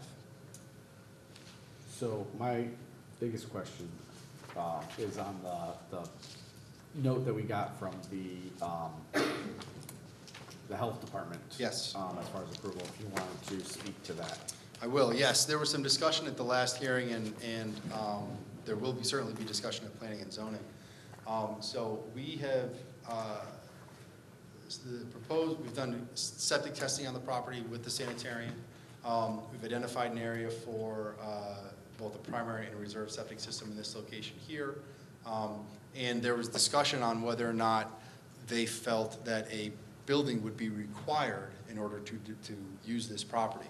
Um, I believe there was some discussion at, at the, um, the- before the last hearing, the sanitarian wasn't actually here. The director had been having some conversations with staff, and um, she was a little unclear with the, what- with what the code actually required. The sanitarian, Rich Jackson, has provided a memo to the commission that says um, a permanent building and permanent sanitary facilities are not required from the health code or from other codes from the state of Connecticut. Um, I think as we talked about at length a little bit at the last hearing, there is a little bit of a difference of opinion from an interpretation of the existing zoning regs. We feel um, that the proposed outdoor storage use is allowed in the regulations. This has been designed in accordance with those regulations. Um, The town planner may feel that a building may be required, but uh, we have a difference of opinion on that matter, and we'll let um, people smarter than I uh, talk about those. By that, I mean the attorneys. Um, So from a septic standpoint, we are not or install permanent facilities. We can provide um, seasonal um, uh, porta potties essentially for seasonal workers. If it does become a non-seasonal event, then uh, we would be required to provide permanent facilities, but we are not required to provide permanent facilities. And again, this is to be used as a storage yard. This is not a place where there's going to be employees there every day, all day, all the time. Essentially, things come in, they get, um, you know, uh, organized into the piles and then, and removed as needed, so. Okay, so it's your testimony that there will be no permanent staff occupying this property that would require the. Permanent facilities, that's permanent correct. facility. Okay. Is, is equipment being left there? Yes, and we have provided on our site plan some area for equipment parking. Okay, where is that? So, um, well, essentially, it's, there's, there, it's really just Oh. actually vehicle parking and along this area here. So on our,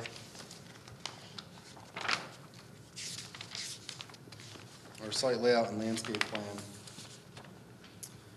we have, uh, so there are the, there are these bins for um, gravel storage, processed stone storage. There's a larger area here for reclaimed asphalt storage. There is uh, storage of materials in this location and equipment to be moved, you know, so storage of materials and equipment, which will basically move the material into the bins, process the bins, and then we do have an area for uh, parking spaces, which are required as part of the zoning regulations for a construction yard. So there actually is a parking requirement for construction yards in the zoning regulations, despite um, some opinions that it isn't uh, allowed. And and this property does actually have a variance for um, uh, a construction company as a permitted use, so.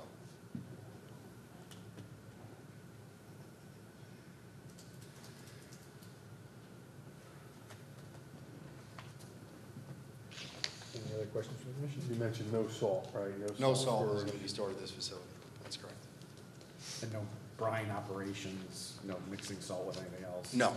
Okay. Is there gonna be water on this property? Uh, We are proposing to connect into the um, existing water main in Enterprise Drive, and we are proposing a hose bib. Um,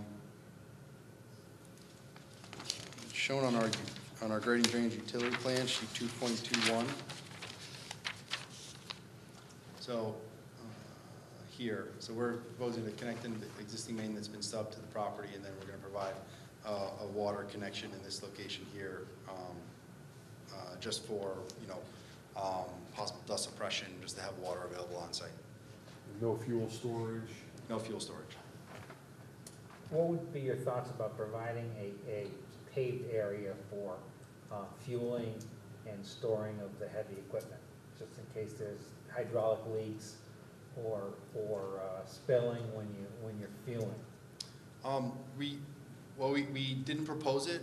If the commission felt strongly about it and required it as a condition of approval, I'm sure the applicant would, uh, would, would have to abide by it. So what's the current plan with, for snow on the lot? So I mean, with it being, if it stays gravel, right? I mean, it- are, is it planning to dispose of it off-site into, or just to push it to one side? I mean, just trying to make sure it's not gonna go right into that detention basin. Right, um, so, from a yard standpoint, so this is somewhat of a seasonal operation as well. Okay. So, so there wouldn't be, there isn't an anticipation that there's gonna be wholesale snow removal because the yard won't likely be in use if there's a period of, of, of heavy, s- heavy snow. Um, that's simply not in the nature of the business of the, of the applicant. Um, You know, we could certainly identify, there is room, or we could provide some locations for some snow storage, maybe in this location, so that it is clear where, where it should be, where it should be piled, if it does need to be cleared, and that it'll make, that'll ensure that when it does melt, that drainage will go to the, the, the water treatments. quality measures, exactly. My, my other question was on the topic of the hose bib. Do you believe that is going to be used for cleaning any of the heavy equipment? No, we, we don't expect to um, provide any kind of washing or any kind of solvents or anything like that. I mean, they may um, hose down, you know, if, if, a- if a truck has some mud on it, they may hose that down. Um, But that would really be the extent of it. Um, And then just, just again, for the record, I want to make sure that, that, that I get this on here. So, so this has been designed with catch basins with deep sumps, and everything is being routed through a hydrodynamic separator to ensure that it does uh, capture, um, you know, suspended solids in accordance with the, and provides that primary treatment for stormwater management. Right, and my, my primary concern is to make sure stuff gets there. So to Jim's comment, you know, of keeping the vehicles on a, a, a actual paved pad, and if, if there's any rinsing happening there, to make sure they get into the hydrodynamic separator, we don't have, um, penetration into the, to the, the ground would, I think, be a huge advantage for, you know, taking care of the pieces of equipment that are on this property. Okay? Just to add, to add to the, the fueling operations.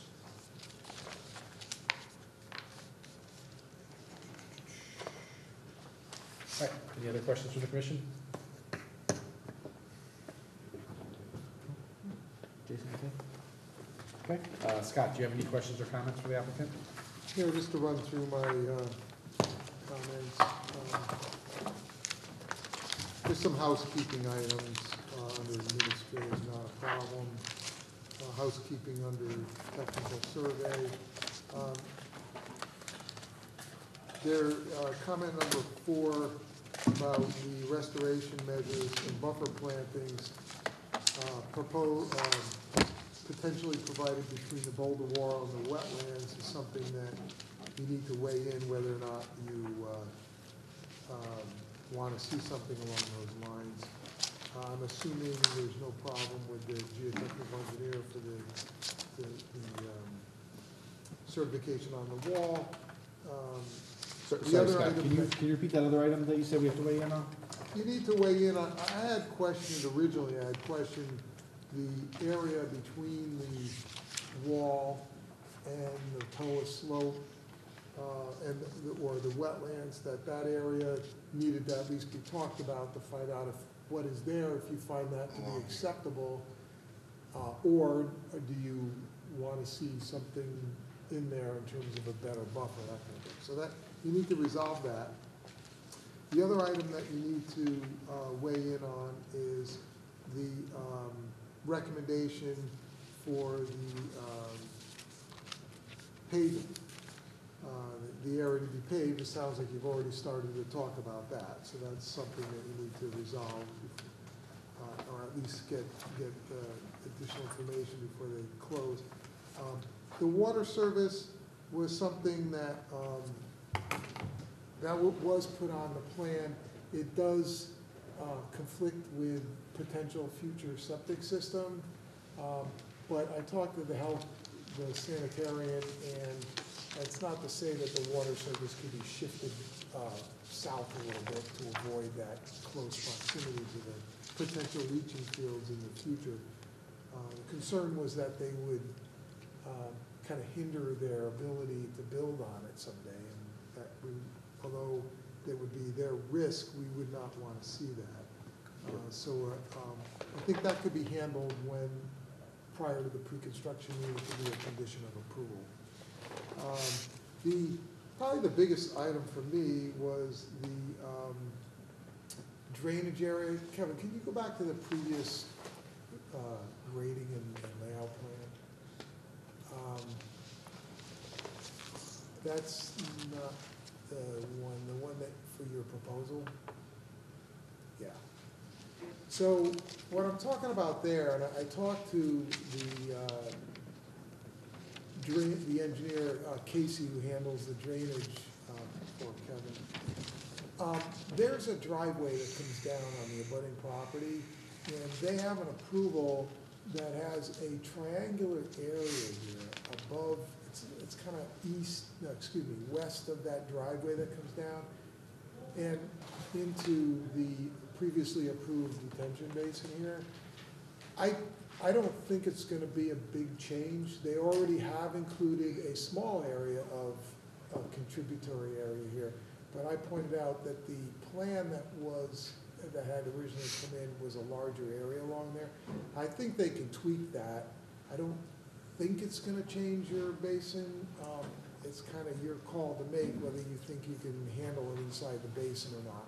but um, Casey didn't seem too concerned about it, but that's what I was talking about, with the added um, con- compensatory area, which I think they have a right to contribute that to this basin. Yeah, and, and, and we went through, I mean, we did kind of go through that a little bit. There's no, there's no deeded rights that we could find that gives them an opportunity to drain any substantive area onto the property. And just to note, I mean, uh, you can see here, the basin was really kind of on both properties. And what we've done is we've actually, you know, located it entirely on ours, so there is a portion here that still exists. But, but I, I do, I do agree with you, I do think it's something that we can, we can address and, and deal with without, um, without issue. And then the last item about the level spreader is just housekeeping. Um, To the, applicant. so the, the area below, I believe you showed us some pictures. My last comment, though, Sorry. was just that the, the recommendation was for a forty-eight thousand dollar lot. And the applicant doesn't have any issues with that? Okay. Um, so you showed some pictures of what's currently there and what's being proposed. Can you just go over that again? I can, so, so this is just some pictures of kind of the existing area behind there. Um, We're currently not proposing, you, you can see from this area, you know, even though this is in winter conditions, you can see that there's, there's some pretty extensive vegetation established through here. Um, And these pictures just kind of help support to see that. I, I just want to point out, on page six of the report prepared by Davison Environmental, um, they have their recommendations, uh, number seven. Um, And, or, or section seven is recommendations. Uh, number three from the recommendations is the area between the toe of the existing riprap slope and the wetland should remain undisturbed. Um, you know, uh, again, I- they provided this uh, testimony into the record at the last hearing, but they feel that the existing vegetation in that area is in a, is in a position where it's stable, it's healthy, and, you know, um, any additional plantings in there would really just kind of result in some disturbance, and and they didn't feel that was necessary um, from a, from a uh, wetland standpoint. How the commission feel about that? I mean, the visitation does seem to be substantial. Yeah, I think pretty good. Okay. All right. Anything else? You- That was it? Okay, uh, Donna, do you want to do exhibits or, sorry, um, Kevin, if you have anything else you want to present? No, I'm happy to hear exhibits and then open up to the public. ask something? Uh, what do you have, uh, to like contain the logs from rolling down off the side of the slope there? Yep, so that was one of the things that we talked about at the last hearing, and I did, I did touch on a little bit. We are proposing to extend that, um, that Mafia Block edge, uh, kind of through here to make sure, to, to show that it- it will not, you know, it does almost act as like a curb, a, a, a raised curb, but, a- but, but to prevent things from just kind of toppling down that, that Can you hill. get some detail on that, you think? Of course. Logs, they roll. All right. Wisdom from this side. See?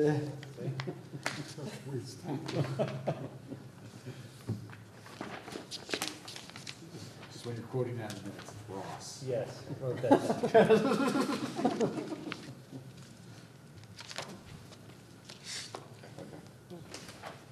All right. Any other questions for commission? Or If not, uh, go ahead with the exhibits. Okay. Uh, We left off with Exhibit 16, so Exhibit 17 was an engineering report by Solli Engineering. The document was dated May 23rd, 2017. The revision date was August 15th, 2017. Exhibit 18 was the response to engineering and commission comments by Doug Rich from Solli Engineering. The document was dated August 15th, 2017. Exhibit 19 was an eight-sheet plan set uh, titled 124 Enterprise Drive by Solli Engineering.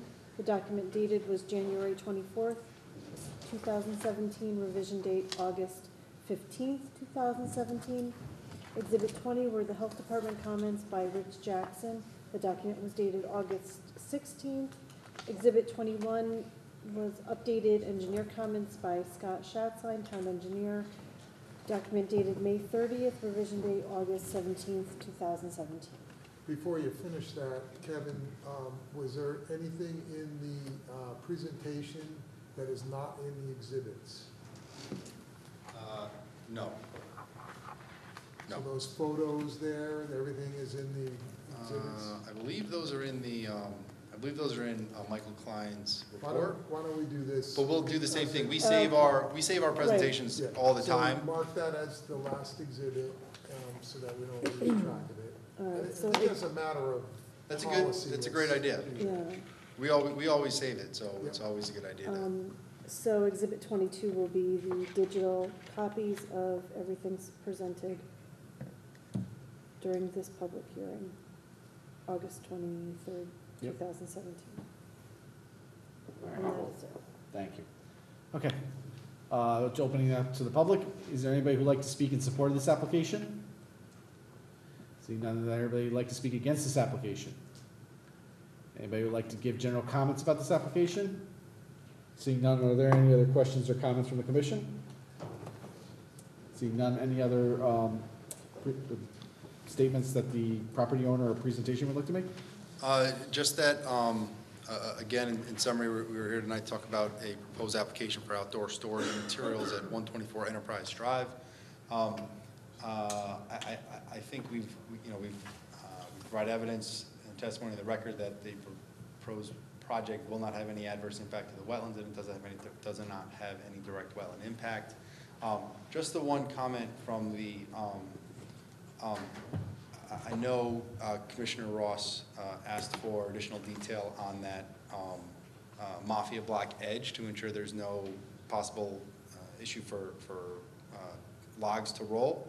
Um, I guess I'd like maybe if we could incorporate that into some sort of condition so that we're, we can, you know, we provide sufficient evidence to the Planning and Zoning Commission that that detail is established, so it will prevent that from happening.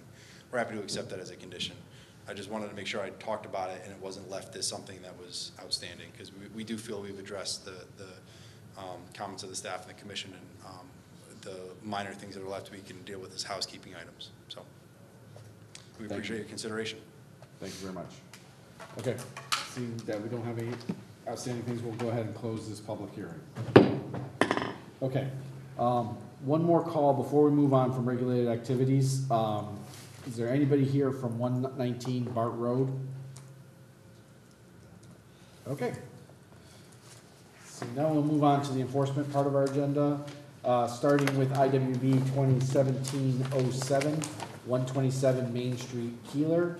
Key, uh, tree cutting past the limit of dis- disturbance as approved in wetlands application 04-15 Pondview and 04, sorry, 1404S Pondview. Uh, this is an informal hearing. Is, um, Mr. Keeler here tonight? Are you representing? I am. Um, um, uh, For the record, uh. Kevin Solli, Solli Engineering, office located at 51 Main Street here in Monroe. Um, uh, I am here on Mr. Keeler's behalf. Um, Unfortunately, he had a, uh, he is out of town and he was unable to be here this evening.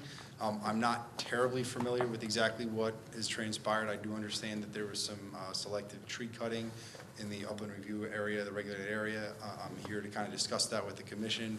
Um, I will say that as part of the ongoing site work operation that's been going out on that property, um, my firm has been providing uh, soil erosion sediment control inspections in accordance with the uh, Wetlands and Stormwater General Permit that's been issued by DEP for the project. Um, I can say as part of those inspections, we can verify that, you know, silt fence is installed on the property, there has not been any um, uh, erosion or or disposition of sediment into the wetlands. Um, So from a, from a sedimentation standpoint, from a disturbance standpoint, um, I think the, the general operations on the site are, are, are functioning in accordance with the permit. Um, But, but yes, I, I guess there was some additional tree cutting in that upland review area that was not permitted.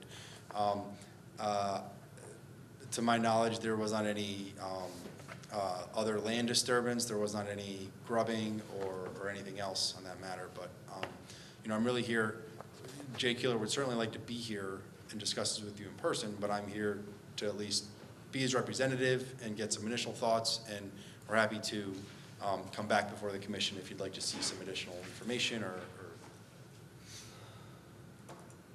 That's, I wasn't doing anything specific. Oh, I didn't know if you were, I thought we were all gonna see pictures or something. Well, we might have, but, uh, let's see. Yeah.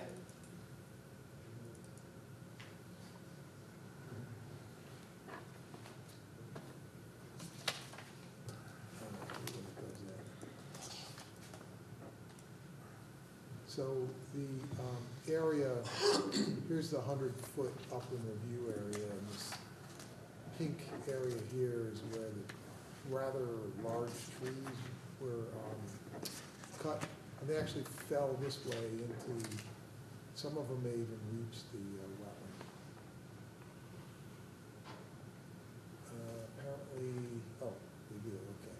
So, um, you can see they came along, all along here, you know, they're, they're actually sitting there now. So it, it was wooded all along here, and there's just nothing there. Um, this goes back to early, very early spring, so there wasn't even, uh, leaves out, some of this stuff. You can see, just the leaves were just starting on the remaining trees. But There's only those two pictures. So I know something that, um, one of our commissioners brought up when we were reviewing the, um, Scott, can you stand that picture? Oop. Okay. So you mentioned that the sediment, the, the erosion control and stuff has been thing, but, um, we noticed that there's some boulders that are, seem to be rolling down the hill and actually knocking down the sedimentation, tr- or the, the fencing? Silt fencing, thank you, I'm sorry. Weird word to forget. Um, do you know if any of those have been repaired or Yes, they, Okay. they have, and, and so this was, as um, uh, Scott indicated, this was early on, this was May. There's been significant more disturbance and earthwork associated with the approval. Um, And we do inspections after, minimum weekly, and after every storm event that generates more than a tenth of an inch of rain. So every, you know, we'll do a full inspection and we recognize or identify any silt fence that may have been damaged by rolling boulders or if there's been too much sediment um, uh, stacked up against the silt fence. So we are identifying those as, and, and calling that out to the contractor so it can be managed effectively. So any of those areas where there, there has been um, damage, it's, it's always identified in our reports and, and uh, repaired. Okay, is, do you know if these trees have been removed at this time? I don't believe so. Um, I don't believe so. Okay. And again, this, I, I'm, I'm a little caught off guard Yeah, today, yeah. because I got a call at like four thirty saying, hey, can you cover this for me? And I was already gonna be here, so I said, sure. Yeah, I mean, I, I, I think it probably is best for the commission to hear from Jay, and I think we could probably keep this open for another meeting to hear from him, uh, if you believe that's a good course of action, Scott. Well, yeah, this is the notice of violation discussion. This is the point where the uh, owner comes before you, you have an informal, you then, sometimes you go out and look at it, I don't know if you've seen Yeah, it I yet. think that's probably what we'll have to do, is look at it. But what I'm looking possibly- for at this point is, um, you, you to make a decision on, on how you want it handled, you know, what process. Uh, I'm assuming that that's fairly clear in this case, but if you, you wanna look at it first and then provide that input, that would be good. Yeah, I think we'll look at it, and, um, if Mr. Keeler believes he has anything additional, we'll probably just leave it in, in the informal review phase, so that we can talk with him next time, so that, you know, we can get some more discussion on what he believes his, his plans would be, so that we can see which kind of process we wanna go Yep, through. And in the meantime, check it out. Yep, Scott, is it possible that we get, if we wanted to go check it out, that we get those pictures from May But you, we send you those? Yeah. Yeah, we can do that. for comparison purposes? Sure. Are there markers there where they're, they were supposed to It's, have it's stopped? pretty, it's pretty clear. Yeah, the, the, um, It's pretty clear I when mean, is you're, there markers where they when you're were in the supposed to? Dunkin' Donuts drive-through, it's pretty clear. well, the- I think, I think You've Scott's. got the, re- well, I, I actually. think this, I think this actually is pretty helpful because it shows the limits of the, of the stone, the stone wall, which is still there, you can see it in that picture. So that kind of depicts where, um, may provide some clarification for for the You, commission. you got the when they're doing their reports, the inspection. pictures aren't in the report? This, Just- I, just we the map? might, this is what I have. I- Okay. There might be the pictures, Yeah, but well, I I'll get just them have to that. send you the pictures too. all right, thank Ju- you. Just, I guess, uh, um, I guess some, you know, I- I know Scott indicated that it may be clear what the, what the, what the recommended path may be. Do you think the commission could offer me, offer me some um, indication as to what you're, you're thinking it may be? I know you're still gonna go out there, I know it's, Yeah. it's gonna be subject to more discussion, I'm just, I wanna try to understand, so maybe I can help, uh, So traditionally with, um, you know, building sites that expand, it- it's, it's a remediation submission that goes through the office.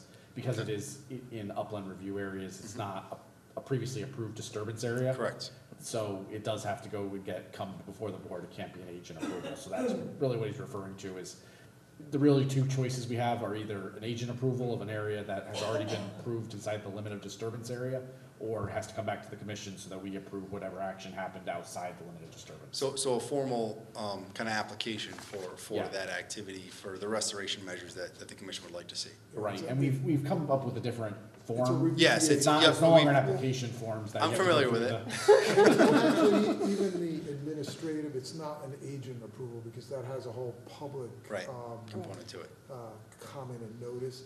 It's, it's an administrative version of that um, remediation submission. Great, Okay. Thank you. thank you. Okay.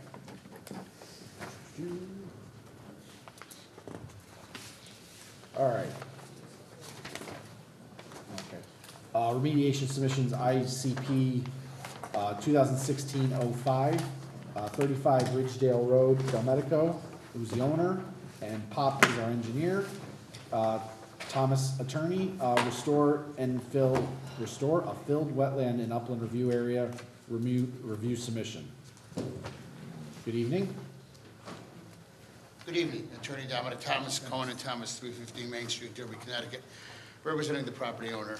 Uh, Before turning it over to um, uh, Matt Popp, uh, just to give you a little background, uh, once the notice of violation was filed, worked with staff going out there, and um, there was something that I discovered that was quite unusual, and that is that, uh, or at least unusual for me, that the uh, Monroe Wetlands regulations were passed in May of uh, 1988, which was quite late. When you consider what you're dealing with regularly. The subdivision that we're talking about and the issues related to it was a mid-'80s subdivision. The Clients purchased it in September of uh, uh, 1988. I think I have the, the uh, dates right. The, uh, as you will, s- you know, the subdivision had a series of lots, had an open space area that was defined by a wetlands that we can only assume at that point was done utilizing USGS or something else because it didn't appear to have been at that, done by any soil scientist. And the property was severely sloping and had to be cut and filled to make it buildable.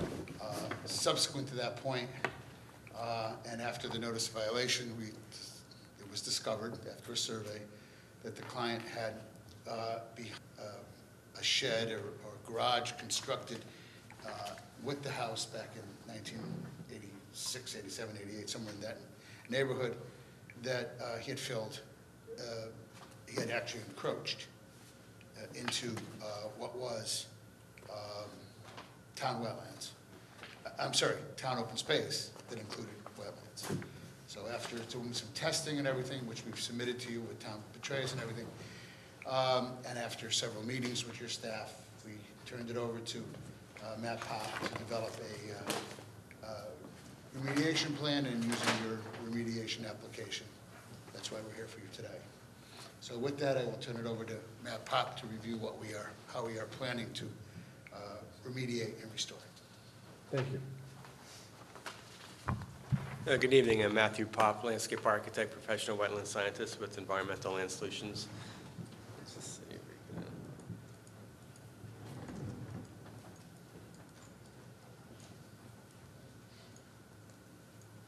Scott, did you have the plan? I thought we submitted that, the uh, PDF for that plan. You did?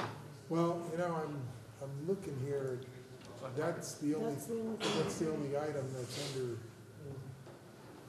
I had emailed you that plan sometime before, So- you know, Anyway, just before the application. uh, hmm. Um, did it come to me or to Donna? Computer. Okay, um, I, it's not on here. Okay. I, I didn't know it was part of the, uh, presentation, I assumed that it was in here. um, So there's no, there's no map in this at all? Is that what you're saying? yeah, it doesn't look like there's a, So you, you, there's no plan at all. No. I do have a plan here.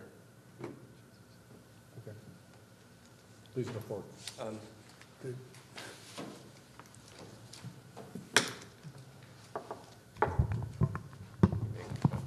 You can see this. Ridgedale Road's over here, existing house here. It is a shed or garage in the back. There's kind of an an overhang right here. The property line is right through here, goes through, it's like this. The wetland is located, existing wetland located up through this area, back through here is a big uh, red maple swamp. Um, Again, this portion of the disturbance is off the site, again, the property line is here. What we're proposing to do is uh, just to remove the fill from the wetland line, wetland area, restore the, um, the wetland plantings, and then, Thank you. and then um, restore the wetland and restore the area adjacent to it. Um, There was this blue line right through here. We had Tom Pietras, soil scientist, uh, go out and uh, excavate, they excavated some depression, some holes to delineate where the wetland actually is. Um, There is a, on the town map, the wetland was a little bit further back here. Uh, Tom Pietras's line was up through here, and currently the wetland is in the fill right here. So again, this area right here is for restored wetland area, the blue line, and then the blue line back through here is restored upland area. It gets planted with uh, the trees and uh, shrubs and, uh, and the native uh, seed mix. Um, Also, um, this property line, along the edge of the property, we included some additional plantings, uh, native plantings there. Um, This overhang right here in back of the shed, that gets removed, and some of it goes, approaches over the property. Again, this is off the site, and that's the open space, and that's where we're concerned about restoring that area. Okay, so that whole side is not the property owner's property, it's the town's. Correct. Okay, Open space, yeah. open space. Okay, and then, so I'm just trying to make sure I understand all the elements, because it is kind of small, but I believe our staff is working on getting a copy of the plan up on the projector. Um, The purple line is where the town's wetland line says, Nineteen eighty-five, I think, uh, line, okay, um, you know, when you're out in the field, like right here, there's a depression right here. There's, um, goes down maybe two feet, there's some huge uh, white pines that, you know, they're, that's an upland plant, and they're not in decline. I think maybe one of them came down recently, uh, but, so that wetland, so this purple line to me indicates that it was, you know, maybe done, you know, a photo, or I'm, or I'm not sure how it was done. Uh, so to me, that indicated that that purple line was incorrect. You know, those pine trees are probably forty years old or so. okay. Um, so again, in this blue line right here is the delineated. So you believe those trees, so, I mean, obviously on a tree, you could tell if the, the land was filled next to the tree, right? Because Yeah, the root would be exposed, or it's, wouldn't uh, be exposed, would be well under the tree. The- land uh, surrounding it, right around it was filled, but the white pines are down maybe about two feet or so below. So you can kind of see that below that fill area around here was uplands. So, okay, so So, you're saying there was fill up two feet, there's depression for the white pines, you're saying, okay.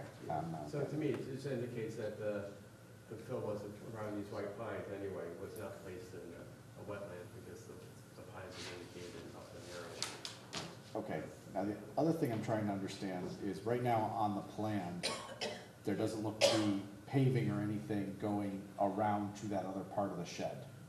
There's, there's, this way, right through here. There's- Yeah, that way, the- Yep, Uh, that's right through here. There is pavement. okay, It's, so I'm uh, flipped around, sorry. no, It's no, millings. no, Hmm? So how does that make any sense? So the driveway from the house is on the, on the left side, right? So on that plan, the driveway on the house is on the left side. It goes garage here, Yep, and you come, right, there's a full circle there. On your plan, it goes up there, it kind of dead ends, and then it stops. No, this is what the, res- the- how it would be. That's, that's how it'll be in the, Yes. Okay, so you'll pull up all the pavement on the northern, I guess, I don't know what Well, side. all, north. all of this off the site comes off, Okay, and then over here, it gets pulled back, you know, to this location here. So about where those, about here. so how much, so you're bringing the soils down to that two-foot depression where the white pines are and all that area? On, on this site, no, on, on the property, we're gonna keep that as is, but we're just pulling the millings back. It's about probably about six inches of millings. No, because we're not, we don't, we we no longer have access behind the, the garage, so we don't need all this, the millings back through here. So we're just taking those off, Okay, that would be, so the other concern I have is, so there's really no buffer on that corner right now. So the wetland line you're drawing, even the blue one, yes. is pretty much on the development side of the plantings. So there's, there's no buffer to the wetlands. Well, and, and there's this buffer here, you know, back Right. here. Uh, right along here, we do have, um, some boulders, placed boulders, you know, that for demarcation. Can I, this is not, Attorney General Thompson, unfortunately, this is a small, but you can pass this around. This is a copy of the original subdivision map from nineteen eighty-six. And again, it was before your wetlands, so there was no wetlands committee to come before. It. But you can see the line, the way they drew the line. How they drew it, we don't know. And it's lot twenty is the lot. It's on there, that's this lot. One of the interesting things is, when you look at the- what the topo was, went like this. Mhm. So in order to build a house, they cut this, you know, they did a cut and fill, basically to do the house. So it's apparent that certainly on the, on the left, I'm gonna use left, right. Perfect. On the left side uh, of, of the, the driveway, as you're going in there, that was, you know, when that was filled, how it was filled, I mean, my client did normal improvements to his driveway, you know, that anybody would do, you know, to your driveway, making sure it's level after storm. But that was probably all filled. The area in the back obviously was an encroachment into town's property, so that has to be corrected. So after going out there, what, what, you know, the, you know, that wetlands, uh, I mean, certainly there wasn't upland review areas until the nineteen nineties. And, uh, it was at that point when DEP permitted upland review. So there wasn't any discussions and, and in fact, when the builder was building this, there was no wetlands. There was no wetlands permit. So do- do you have the original approved plan for the, su- the, like, this is the, the subdivision? Subdivision plan. Is there a, there's, there's not a plan for the original house and shed?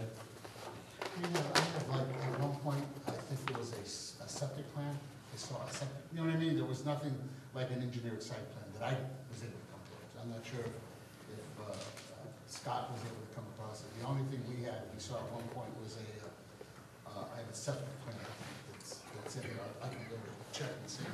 Yeah. The other question I have is the back building, is that permitted? Is there a permit for that being built? I'm guessing those were not built at the same time. The back building was built at the time. At the same time? Yeah, at the Okay. same time. The overhang, which we have to remove, was added later. Okay, that's the back part of it. Yeah. That's right, yeah, that encroaches over the property. Okay, And that encroaches, yeah, that correctly, that encroaches over the property line. Using, using the pointer, can you show me on that picture, and actually if you can make that picture a presentation, um, make it a little bigger, but where are you proposing the driveway stop? Where you're pulling back all the lanes? Okay, so really at the pine trees, Um, yes, yes. okay. But you're only proposing pulling back two inches of mill, or sorry, six inches of Whatever, millings, whatever the depth of millings is. not pulling it back the original two feet of the depression you said that pulls the pines. Uh, Correct. But in, in the corner, right through here, we are pulling it back, which then we have to, we try to restore this wetland fully off the site, so we, for grading reasons, um, to make it a smooth transition, we are kind of pulling it back here, but not where, uh, the, the, uh, this driveway is to remain. So, okay, So, we, we're, we kind of believe that, you know, this kind of area was filled before, you know, the wetland was. okay. And actually, it was like the, the same year, I think. Okay, so a couple questions too. Um, so do you, have you secured permission from the town to work on the town open space, or is there any legal, and that's probably this question for Scott too, is there any legal Uh, the allowance that we have to provide, or the town First has to step that secure? we thought was the remediation. I do think, uh, and I would certainly consult with town council, uh, that we, any work to be done on that, we would have to uh, determine from the town council what, what permission they want, what insurance they want. Uh, Scott, are you familiar with this type of situation? I assume they want, uh, they want appropriate insurance certificates and everything. Well, I mean, the way we could handle that is, um, we have, um, we have a permitting program for, uh, highway modifications, which is working on town property. Okay, Um, You know, probably something along those lines, but. fine, um, whatever. Similar, similar activity has taken place on town property where there hasn't been anything real formal in terms of permission to, to go on the town property. I mean, in this case, it's not a big area either, it's, it's a fair, you know, toe slope doesn't, it's, it's not real far.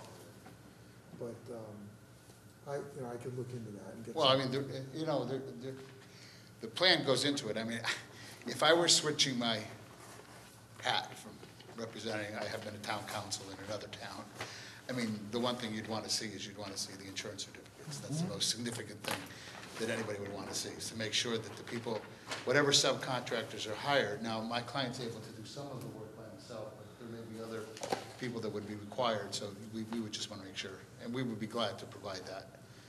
Yeah, I mean, that's probably secondary to the Yeah. initial, you know, coming up with a solution. So- But, yeah, Yeah, so what, other than pulling off the mill, millings, what treatment to that area are you proposing? Is there seating, is But- there, but This area over here, yeah, where the millings would come up, that would get seeded with, uh, no lawn mix okay, on top. a, a lawn mix or a no-mow mix? Um, Because what I'm looking for is to try to provide a buffer to the wetlands, all Yeah, that could be insubstantial. That could be a no moment, that probably would be good because, um, you know, he doesn't really need to maintain that in back there. Okay, Okay, you, eh, excuse me, are we talking about in back of the garage? No, on the side, right through here. right there. Oh, oh, that area there, okay. yeah, no, you you have a detailed plan for the area that is Yeah. open space, but not necessarily, there's no colors or anything right there. That's, a- that's a good, that- that's a good. How, how much excavation is gonna take place? In here, Yeah, generally, um, two to three feet? two to three feet, to, to nothing, I'm assuming at the top. Yes, correct. What, what kind of material is in there? Just gravel, or is it Dirt, gravel, uh, regular You have to wait. Yeah, if you could just introduce yourself. construction debris, I mean, that sort of stuff, I mean, And address. Uh, Jim Delmedico, 35 Ridgedale Road. uh, Thank you. Monroe. Yes, regular, I dug down the test holes to find out what the grade is. It's regular dirt, uh, gravel, normal stuff. Nothing, uh, no boulders that I saw. We do have some millings on top, maybe four or five inches of it. We also too will be removing some of the, you know, the thing tall here facing the cloud here, back in this area, because it's, it's a steep embankment, we wanna just, well, it's, Yes. you, you can't, because we want to make that, uh, very, uh, more gentle. back through here. It looks like, uh, maybe some equipment they've been stored back there or something. Because it's town property, is there any reason to like look into possible oil contamination or anything like that? Originally, may I speak? Yes. Originally, I'm put, I put up a building on Pepper Street on Enterprise Drive. At that time, the people from the town knew I was putting a building up, and let me actually, I don't know, leave some dumpsters there until my building opened up, and that's what I did, I moved everything over to my building. That is not a current condition, Richard. Oh, no. Okay. I thought, Do you, that's, do you have any current conditional pictures as part of this presentation? um, we didn't include it in our presentation, Only- you know, we didn't, you know. uh, Only thing we have in the back is just the, the barn, no coverage, no lean-tos. E- Everything's been, uh, that was in violation was removed. Yeah. There was a zoning violation, zoning violations as a result of that, that certain uh, bins. If you could just come back over for the microphone so they, the. Certain recording- bins, as a result of the zoning violation, certain bins and everything were removed. All those red bins are gone. The, do uh, do you have the pointer? The, Use, use the mouse, Dominic. oh, use the mouse? Yeah, Okay. because the The pointer pointer doesn't doesn't- come out on the mo- Okay. monitor. The building way in the back here? Yep. That's gone, all this is gone. So at the time that I became involved, um, there was, uh, there is, um, what do you want to call it? There's a concrete pad Yes. and, and a, uh, that is in this area here. It's mostly on my property. Right. And, but it also stretches in. So at that point, I instructed my client not to remove anything else until we, because the entire air back area is in what would be considered the current upland review area. So at that point, we just stopped doing everything. But all of the, all of these dumpsters, this, all this is, is uh, gone. I I was about to look, I may have a current condition photograph. I was trying to look for you to show you exactly what it was like. Well, so better than a photograph, I mean, would you guys be opposed to allowing the commission to visit the site and see the current conditions, just so we can, per- uh, compare those to the current proposal? Oh, not a problem at all. Okay. It's, it's, yeah, it's, it's This isn't a your public. property, so. Yeah. Yeah, well, I mean, you have to access Yeah, your property yeah. to get to, the, the open space is a little landlocked. Yeah. Um, it's Okay. Easily accessed. okay, so, I mean, we can schedule appointment to visit with, you know, we need to make sure there's never a quorum or anything, but, but I think that's, if- look at the rest of the commission, but I think that's really what we have to see is current conditions based on the proposal and just understand how we wanna move forward in that regard. Does that make sense to everybody? And then if someone could email me a copy, or Scott a oh, copy of that map, we went through both emails, and I looked for you, and I looked for you, and, I'll get it to you. okay. Yeah, I we will get you uh, that and also, uh, I think I have the area. Do you, do you need this back? 'Cause- Uh, that's my only copy. I would. Okay, yeah, if you could scan will it, scan. scan it, send Well, it Actually, to, it's a town, it's a town record. Yeah. Together. ju- but just to keep it part of this When record. is your next meeting? Just, Our next meeting should be the second week of September? It's September. 13th.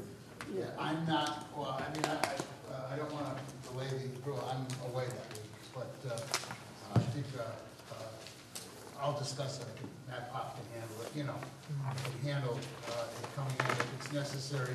Your second meeting in is the fourth, uh, It's the third, third, fourth? September thirteenth and September twenty-seventh. Yep.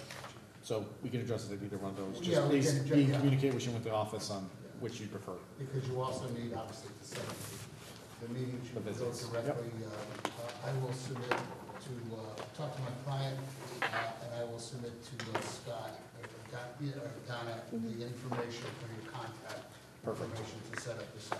Yep. So, um, with, with these remediations, um, submissions, I, I don't, I typically don't provide formal comments like I do for applications, because I don't wanna get in the way of your, um, y- your, uh, interpretation or back and forth, uh, in, in terms of, you know, what, what you feel is the, the way to go. But, but what I do do is I, I do some comments for myself in, uh, to help this process. So I just want to go over some of those, so you guys have it for the, so, um, uh, one of the things that I'm, I'm seeing is that it's most likely going to, uh, need a floodplain permit, however small we're talking about, but it, you're gonna be getting involved with a floodplain permit. Um, and the elevation of the flood zone in this case should be determined because you're gonna be excavating and, and that's gonna matter, you know, as far as how far you're going in and where the floodplain's gonna end up. Uh, the wet, wetland restoration plan, uh, and this is the main, uh, issue that I, I bring up. The restoration plan should include proposed grading, and I see you have some limited proposed grading on the, the town part of it, way to the north. But, um, I think that you need to put proposed grading along the west side of your property to show better what you're proposing there in terms of grades. Um, Because I'm confused because there's a wetland limit line that is much further in the property, and I was under the impression that that between, you know, that, that as much of those wetlands was going to be um, exposed, re-exposed and, and, and um, restored as possible. Now, when I say as possible, I guess what you have to do is you have to show a little bit more detail about the existing garage, where the, where the door is, and how much, how much space you need to have the driveway come in to service that garage. Then once we know where that edge of the, the driveway is, then you could look at an embankment that would go down to the, um, wetlands. You might find that you won't be able to restore the wetlands all the way to the line that was originally there, but there'll be some point that you'll be able to restore it to. I don't know what that'll be until we see additional. One of the, just one point, one of the areas on that side of the property is, I don't think anybody would ever be able to determine how much of that was filled in at the time the house was constructed and before your wetlands regulations existed. So what we're trying to do, uh, with the help of Matt and the help of Tom Pietras going through it, is to create a situation currently to, you know, to address that issue, because that property is on, that's on our client's property, that's not the town property. To address it with plantings, with other issues, to create the demar, demarcation, and also to, uh, restore that area. It's, I mean, I- in my conversations with Mr. And we were talking about, it, he, he felt there was, you know, no benefit to be gained by trying, you know, in that area specifically. So what we said there, therefore, let's approach it, Matt maybe can explain it better than I can. Let's approach it with the area of creating a demarcation, putting some plantings in, and creating it. It falls off quite rapidly there, and in fact, one of the earlier plans that I saw, um, actually, way back in the mid-eighties, or, or before the, the property was built, was proposing a retaining wall to be put along that area, and I'm assuming that was to create a sufficient level enough site. They did not do a retaining wall, they did, they just filled it. Yeah, I But there think is a, that- on one of the septic plans is a retaining wall. And I think that's, to Scott's point, get a little more detail on that, that, um, levels, and also visually seeing it, obviously pictures don't do that, Do- yeah. do it, do a slope justice. Um, I think that will help us So- understand. Yeah, so one of the things that I was questioning was, I don't understand, uh, you could leave it pointed to them, this, this piece of the driveway here that goes to, I mean, it used to go into the town land over here. Why does that need to stay there if it's not servicing anything? I mean, what, why is this piece of the driveway, because that's a large area that can be excavated and the wetlands can be restored in there. I mean, why does that need to be there? I mean, it's a residential property, there's a garage in the back, you need a driveway that goes to the garage, but you don't need another driveway that goes to the end of the property over here that doesn't go anywhere. We could address that, let- let us and get back discuss to it with the client. Yeah. Okay. Yep. Uh, and then, uh, usually, typically, there'd be installation of markers, I don't know if I missed that or We not. have a boulder demarcation along the, the property line. Yep, that's, So- no, I'm talking about the little markers. There's Yeah, little yeah, plaques. I'm Sure those could be, um, Yep. incorporated. Then, um, uh, yeah, that was basically, uh, the main item. I was gonna remind the commission that, you know, you always would discuss, um, invasive plants and follow-up monitoring and also timeline for completing work, but that's something we could talk about the next. Yep. Can you, can you email? Yeah, I, I, c- I can, yeah, sure. All right, Thank you very much. thank you. Thank you for coming for us. Thank you. Thank you.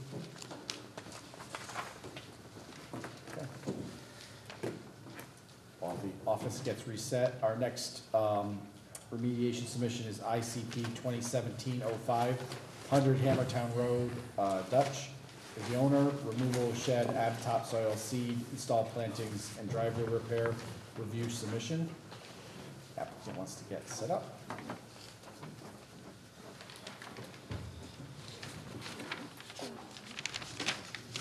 I'm Leanne Ambrosi, uh, 464 Hammertown Road, I'm a friend of Mr. Dutch's, and uh, we're here to to address the violations they have in this property, returning the plans, and we're here to see if you have any questions.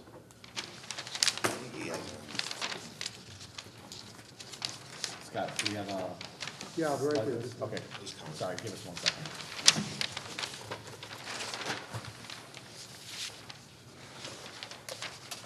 We have a landscape architect that couldn't make the time because she had to take her daughter to college.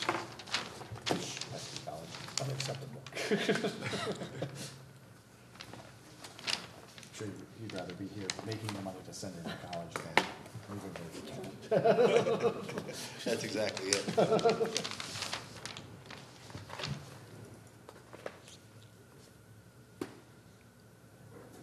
It's a tough one. It's a tough one. Oh, Application said no.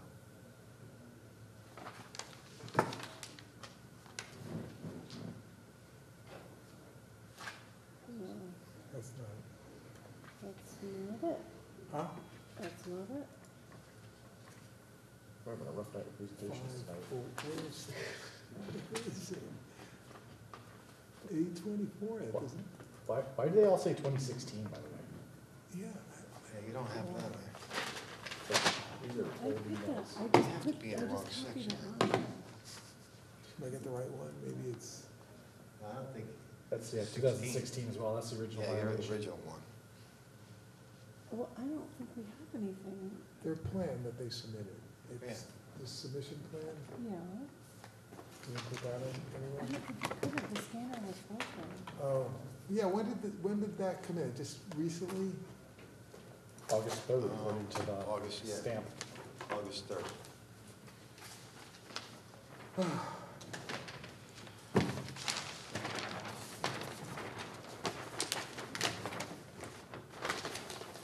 Everyone's got a copy of that? Yep, Okay. we're gonna go, All right, we're gonna go with, uh, roll with the punches, Good, we don't guys. need it up there, Keep then we're going. good. Okay.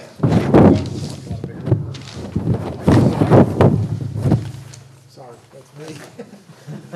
I'm like, don't look at me, I didn't Thought it do was that. I got a small one, I can, I can handle this. Okay, you can handle the small one? I can handle this. Go ahead. Uh, yeah, because we, we, um, we turned in plans to, to address all the violations that they have on the property. There's any questions you have, um, we're here to answer the questions. Okay, um, the property wanna- next, sorry, go ahead. Yep, The property next to yours, is that town pro, or no, it's Aaron No. Marshall? yep. Arnold We're Marshall. removing that shed. Okay. But you have, you've secured permission from the owner to do all of the? Correct, correct. Okay. Is there any, um, grading that's happening as part of this effort? No, No, so it's all existing grading, it's really just some plantings, right, reseeding. chokeberry, nannyberry. Between the plantings, is that a seed mix or a mulch or anything? We put that down there. We're On conservation seed mix. Okay.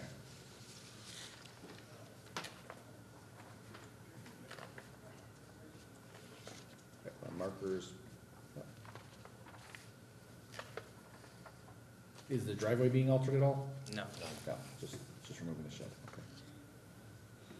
The driveway, the, the gravel area will be, uh, we'll put some process down in, in the low-lying areas, and then we're gonna put trap rock through like two inches across the whole thing. Okay, sir, if you could just introduce yourself. so I'm Gary, Gary Wolf, I'm the agent for Mr. Dutch also. Okay. Thank you. Okay, Any other questions from the commission?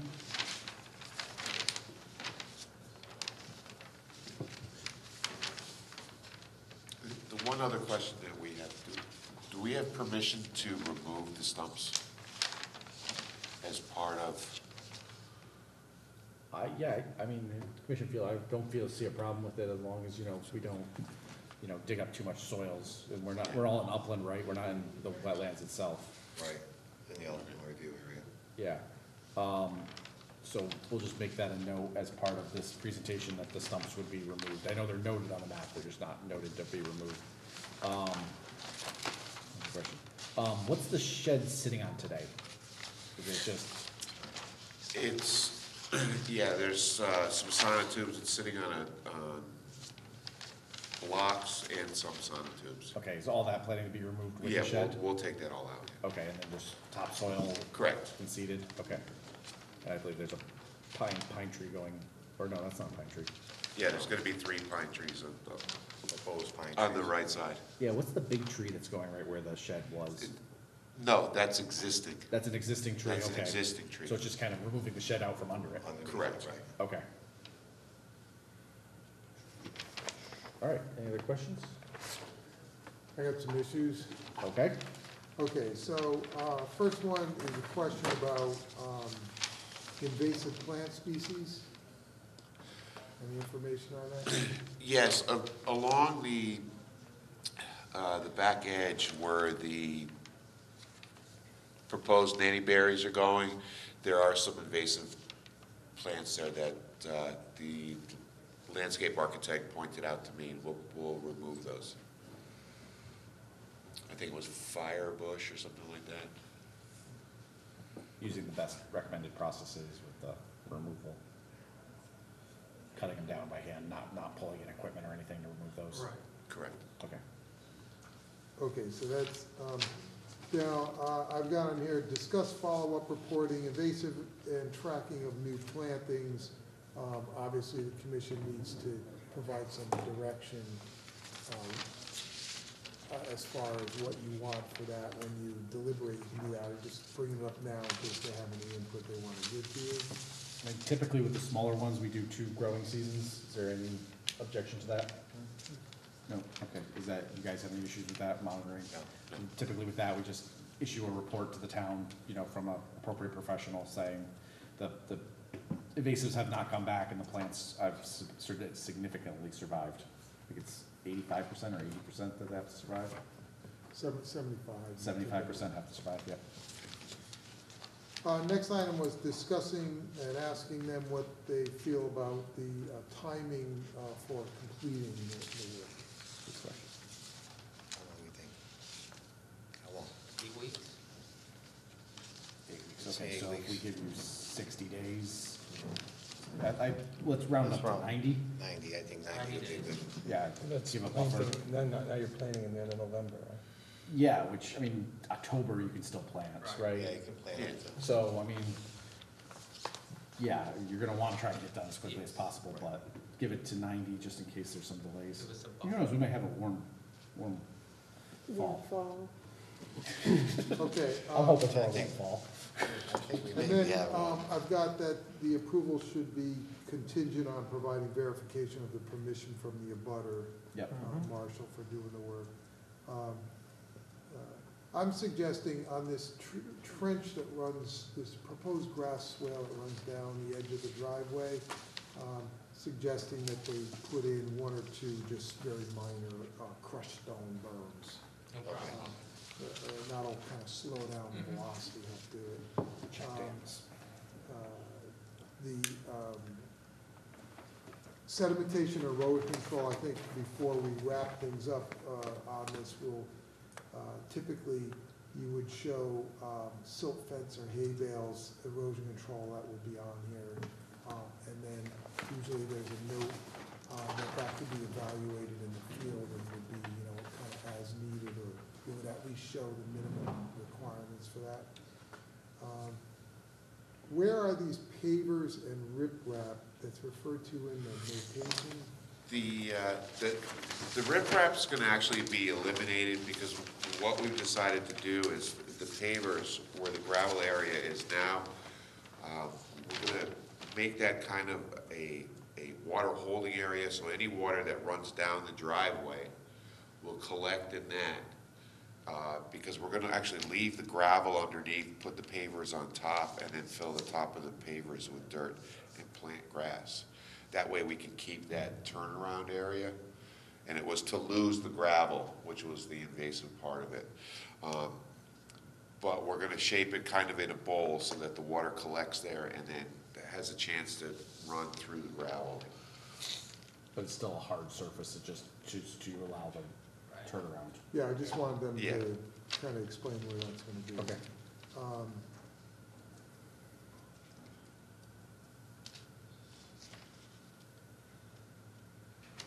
Um, just a suggestion on the, now, I I don't know what this commission thinks, but P and Z doesn't like to see white pines because they just overgrow everything else. So, uh, typically, there's a, you know, you pick, uh, white pine's just a, a nightmare to maintain and they just get super huge. Is that a wet area? No, It's pretty messy, you know, like short-lived, maybe a spruce or something like that, you know? A little more durable, will live for a long time, you know? So I guess the sizes are put on the plan, so you all have that, so we can maintain. And the last question was, what is that round area of concrete to remain next to the drive, next to the gravel parking area? The, um, It says concrete to remain. hold on. Where are you, can you? Where are you? Yeah, where are you? It's a I can't round see it. area, it's, it's No, it's south on the of the drive. gravel, Oh, uh, I see. co-op area. The, um, Is it on this one? Yeah, if you go Yeah, into, crank. Oh, yeah, okay, it's, it's on the, it's on the side, on the upper left. Um, I, I guess when they built the house years back, I mean, that, that chunk of concrete's been there when Just Robert bought the property. well, so it's an exposed. It's an exposed, just, Lump. yeah, lump, like they, like they poured the Poured it there. foundation and They had whatever was extra left in the left over. truck, that's where they dumped it. So it's stable and it's. Oh, yeah, it's been there for a long time. interesting, all right. A piece of history, It's a man-made rock. a man-made Man-made rock. rock, yeah. That's just what Monroe needs, is man-made rocks. Yeah. you don't have any We rocks. got a lot of rock. Okay, is there any other question from It's the like commission? Florida. Yeah. Um, I don't believe there's a lot of outstanding things, so do we wanna entertain a motion for this one? Rather than doing deliberation? You have to deliberate for conditions, right? Yeah. Well, we're gonna go into deliberations next, but, Right. all right. All right, I think, unless you guys have anything else you wanna present, we'll go ahead and move into the next section of our agenda. Yeah. Okay, great, thank you. All right, thanks. Thank you, guys. Thank you. All right, we moved the other to the, the beginning part of our agenda. Mhm. Um, before we do deliberations, which property are you guys here for? We're here for ninety Enterprise Drive. To ninety-eight? Mhm. It's under enforcement. under- Yep, if you wanna come forward, we'll handle you now, so we don't have to go have you sit through our deliberations. It's page three. Okay, so this is, um, ninety days to submit a remediation plan, uh, time extension requested from L. Edwards Associates. That's correct. Uh, We're here, I'm Michael Picarazzi, uh, part owner. I'm Dan Bartoli, part owner also. Uh, We're here to ask for a time extension again. Um, We came personally, uh, there's been some confusion, I think, with, with um, Larry Edwards and, and the whole process. Um, We came to show you that we have been working on plans, we have uh, different possibilities. Um, We can't come to an agreement of which way we want to go. Larry's still collecting some data on existing grades, and um, we're collecting some due diligence on what we can do on the property, money-wise. Okay, do you need, do you need to believe that the whole ninety days, or, yeah, I guess how, my question to the office is, how, this been extended one other time? This was extended the first time. First time, so this is. I believe this, we only, we got one extension. Yes. Right, so we're asking for, A well, judging by what we've gotten done, ninety days would probably be, Okay, we'd be able to get it done and not ask for another one. okay. How does the commission feel? Not get the work done, just. No, just get the- Get the plans a hundred ready. Get a percent. submission. Uh, we have two different possible site plans, we have two different possible remediation plans or or stabilization plans. Mhm. And we're, it's becoming tricky because if we don't know what we're gonna do with, what we wanna do with the site and the placement of the building, then we're having trouble de- plan- deciding on the remediation, so it, it's all becoming tricky in that sense. Okay. The rest of the commission feels it's okay, then we'll just, you know, we'll give you the guidance that typically we don't like to go over two extensions. So please have the submission as quickly as you can. Great. All right, I'll entertain a motion for extension. Motion to extend for ninety days. I have a motion by Jason, do we have a second? We have a second by Ross. Any discussion? All in favor signify by saying aye. Aye. Any opposed?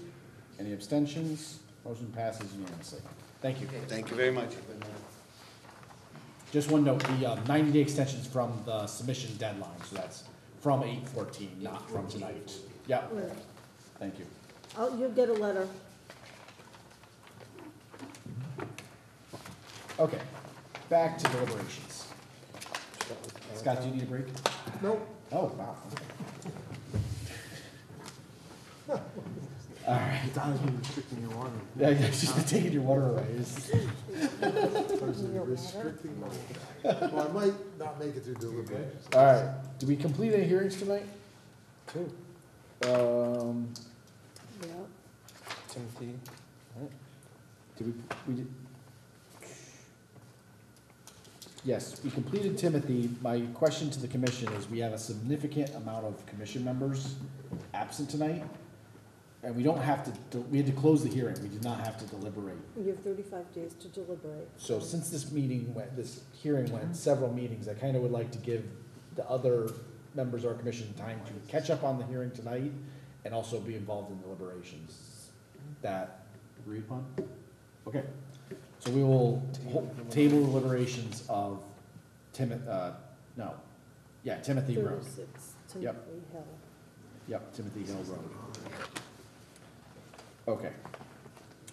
The, boom, boom, boom. We did not finish Enterprise, right? I thought we did. We did, one twenty-four Enterprise, right? How is it showing? Does the commission wanna deliberate on one twenty-four Enterprise Drive? Okay. Um, Do we wanna recommend a letter of approval with conditions? Yes. Okay. Okay, so. Start building conditions for one 124. Enterprise Drive. Where is that?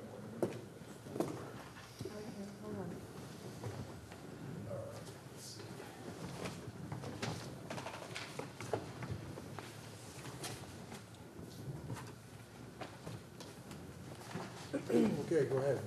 You want me to do my stuff? Yeah, you first? do your stuff first, we'll fill in. Okay, so for one twenty-four Enterprise Drive, we've got, um, administrative that the DEEP form, uh, needs to be, uh, the proper DEEP form needs to be submitted.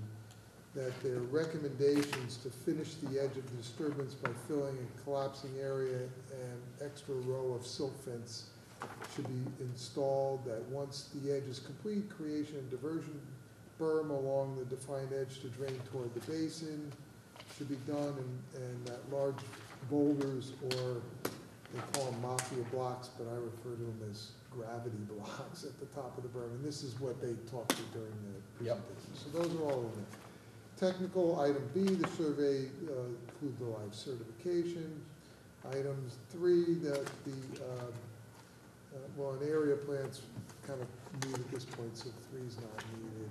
And then, um, item four, um, the restoration measures between the wall and the wetland, I, I, I believe you were saying that you didn't think that was needed, from what I recall. The, sorry, repeat that again? This was the plantings. Yeah, I don't think the planting's below the Yeah, wall. okay, so that's not required. Um, Item five, geotechnical engineers uh, certification on the wall. Uh, Item si- seven, uh, storage, parking and, and uh, work areas. What do you want to do about paving versus non-paving and all that?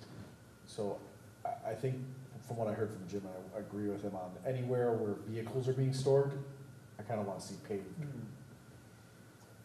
How is that graded? I didn't look at the paper. Is it graded so that anything falling on the concrete is going into the wetlands, or could it be graded back Well- towards the gravel. No, it's grade, it's graded to a, it's down to a catch basin that goes into the, uh, the, Yeah, so everything goes to that catch basin through those two, um, the concern was Basins. that it would go into the, seep into the ground before it makes it to The, the. the parking area that he's shown is all graded, yeah, that's graded back Towards the gravel. towards Yeah, the they're, gravel. they're not running the low spot, the low point isn't right along the gravity blocks, it's like ten feet out from the gravity blocks is gonna be a, a, a V, you know, the Mhm. parking area will come to a V, and then that goes down to the catch basin.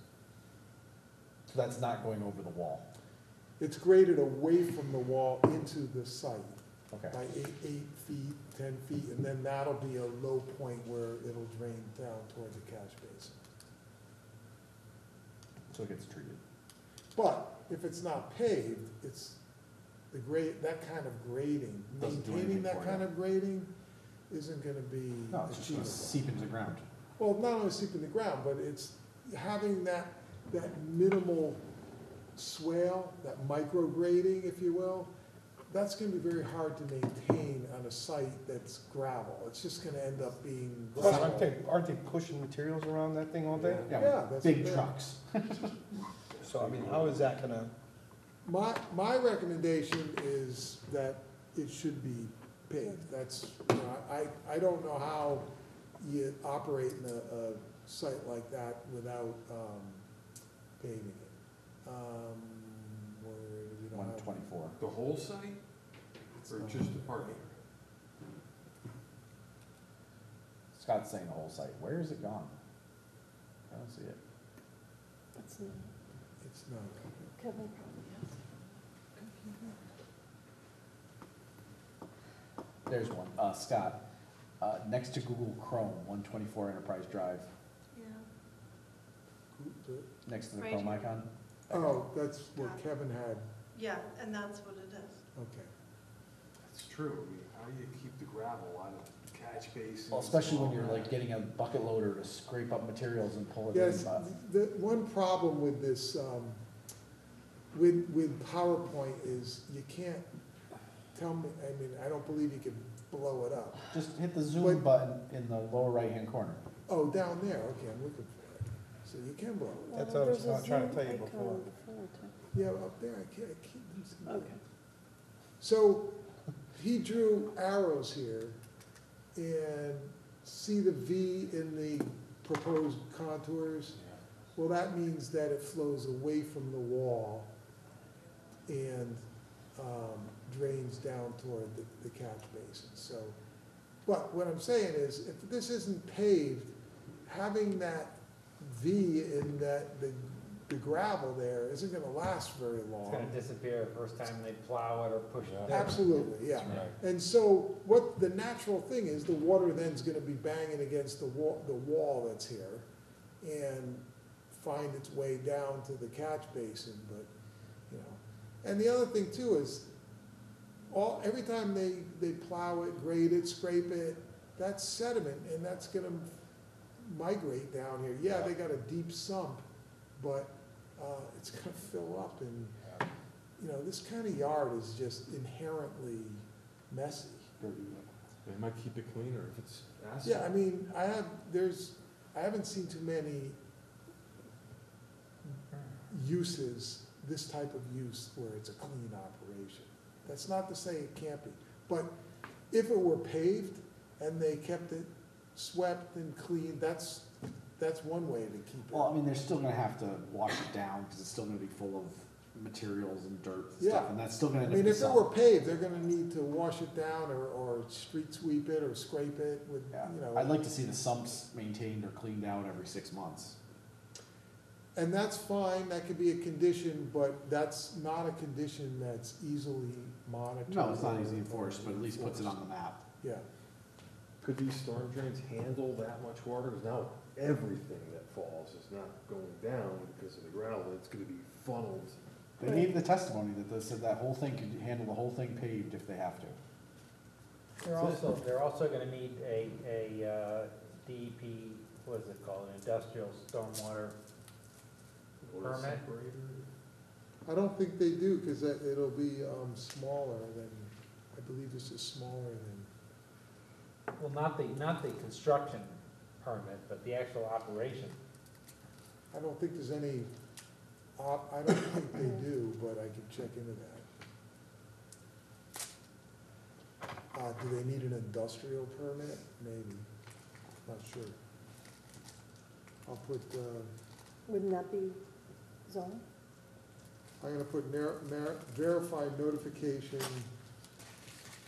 to DEEP relative to, um, required permits. Yep. So what do you wanna do about paving?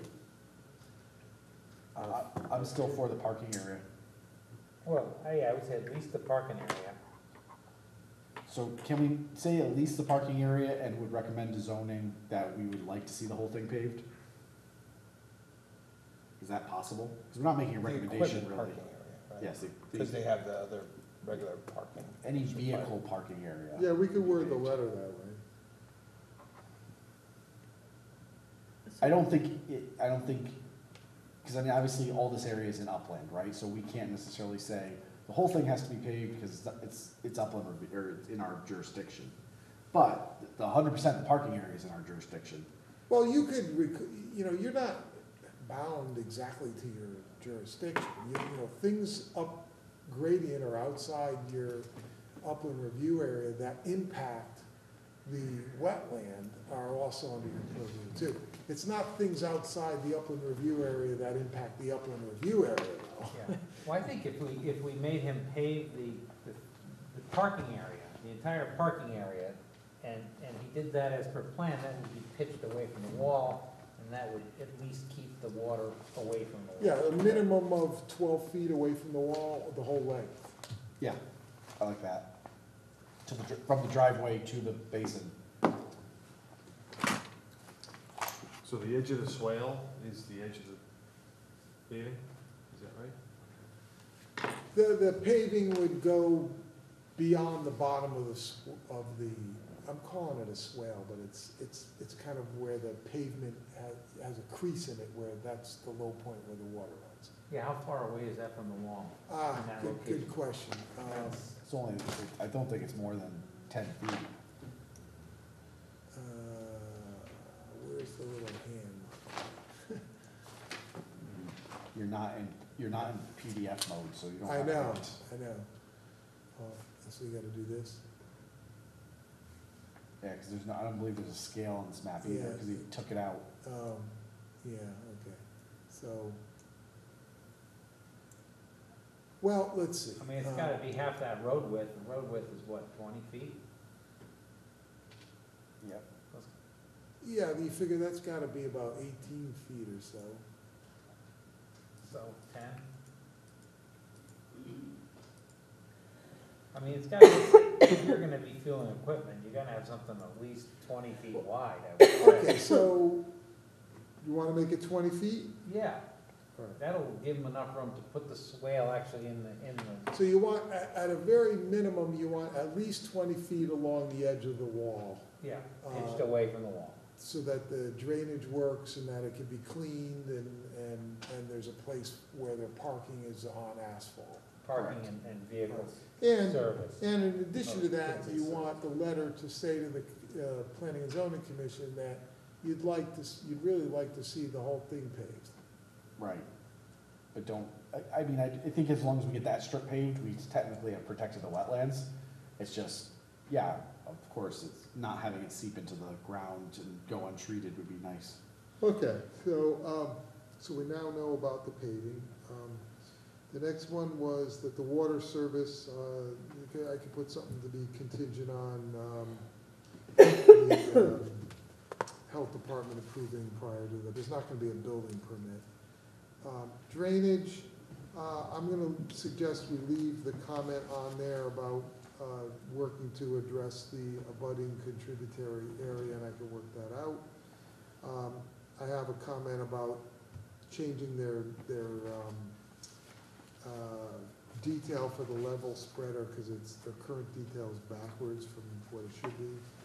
Um, Commission wants at least, uh, the, okay, so the paved area we talked about, catch basin to be cleaned every six months.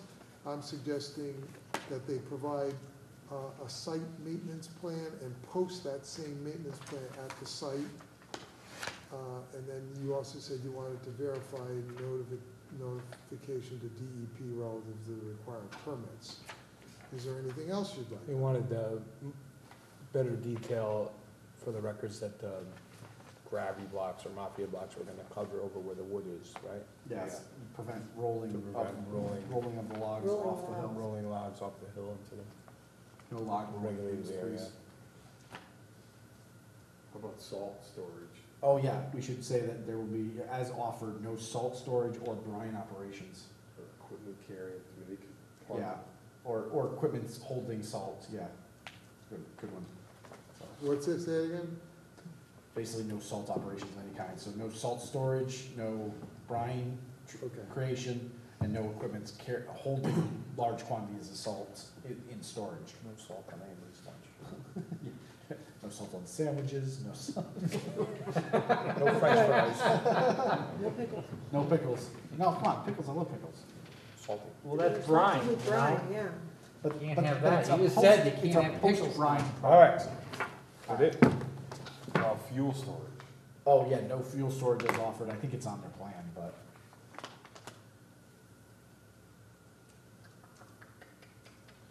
No, How are they uh, gonna equip, fuel no up the equipment repair or maintenance? Yep. So rec- reclaimed asphalt has been proved that it's, it's fine? No, no leakage of, cause there's a big That- bin there. There was, there was, um, that's, we've get- gotten several studies, I, I mean, unless we can find a study that says that's wrong. That's our testimony. I find it kinda weird, you're saying myself, you know. All right, Lois would be all over that. well, no, I think she's, We've been through that, though. she's, she's bunch. okay with that at that, at this point, I think. She, she's, Just a ground she's up come, road, I mean. she's come got full it circle, everywhere. yeah. Okay. Okay, so if there's nothing else, then we'll prepare a draft approval. Fantastic. Please.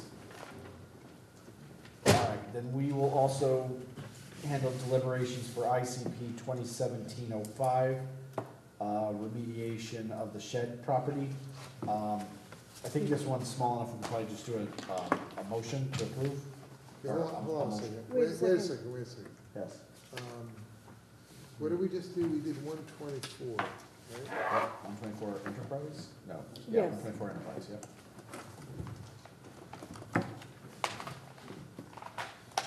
Okay, so now what are you on to? Uh, ICP twenty seventeen oh five, Hundred Hammertown Road. Okay. That is, uh, remediation submission. I'll entertain a motion, it's, a- it's a small one. Motion to approve. ICP 2017-05. Thought that's what I said, but yes, whatever you just said is right. Okay. Some of this work is gonna 17. be done on the neighbor's property, right? Yeah, so that will be one of the conditions, is they have to secure notice of, the- that the property owner has. I'll make a motion to approve with conditions. Okay, Are hold we- on. hold on, Hold hold on, hold on. on, hold on. We just have a lot here we gotta go back through.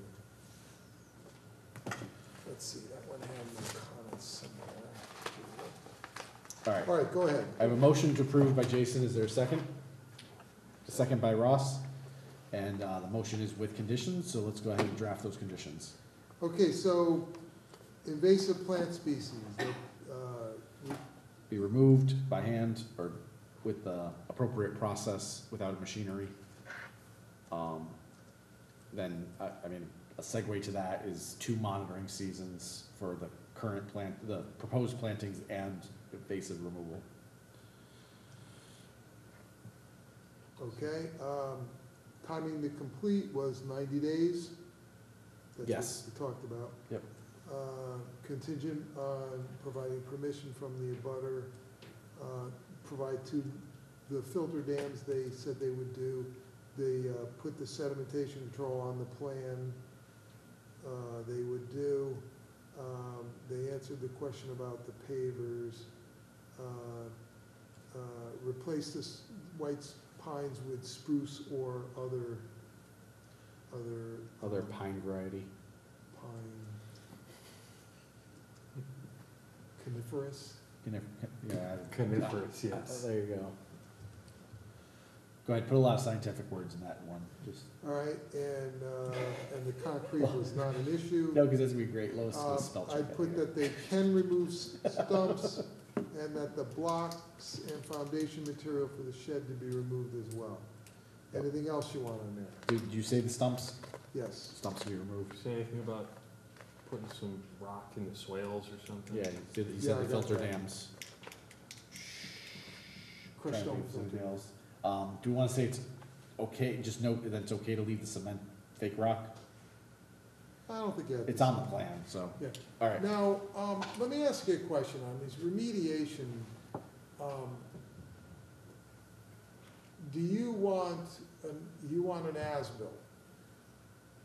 And I would suggest you do as-builts on these, so we have, now, Perfect. as-builts are expensive. Yeah, that's the So- problem. What, what I'm thinking is, a lot of these remediation projects, uh, like this one, they don't have to do an as-built like a surveyor goes out and does, you know, measures everything. Their as-built can literally be the landscape architect goes out with a piece of paper and just takes a magic marker and, you know, checks off. the Shows where the plants were there. actually planted. And puts a note on here that, you know, all plants were installed as shown on the plan.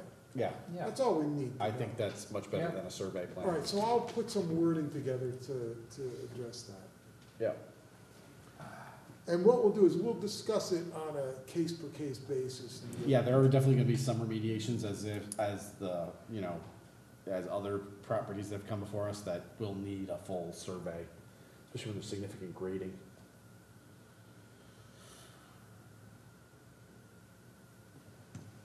All right, let me know when you're all set, guys.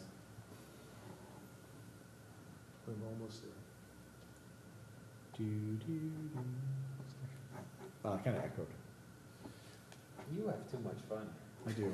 I have Way too much fun.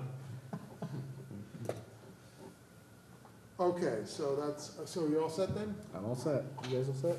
Yep. All right, all in favor signify by saying aye. Aye. Any opposed? Any abstentions? Motion passes unanimously. All right. Can I ask for clarification, because this is gonna be Better drafted up and before, brought, better before the vote, but yeah. What? This ahead. one is one that they uh, voted on. Yeah, They're, we're gonna just do the letter. Okay, there's no, there's no draft remediation. letter. They okay, feel it's Done. pretty, okay, Done over. Full, full plans, yes, let's do the, the letter, but I Okay. don't wanna delay the just wanted remediation. to just, okay. But good point of clarity. All right, the next one's gonna be IWC twenty seventeen oh four, that should be acting on a drafted letter. Oh, no, that's deliberations. Did- Did we get a draft letter for this one? yes, you did. Okay, good. I'm sure I have it somewhere. Who, what did we say?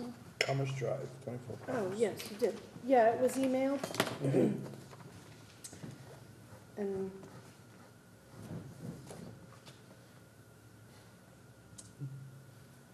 Okay, Can I have the file so I can go over the letter? Oh, you want the whole, sorry. Sorry, there's a lot. The draft, that's it. Right here. Sorry. Okay, so let's see, so we're, no. We are on twenty-four Commerce Drive. Isn't that right? It Preview? says one twenty-four Enterprise.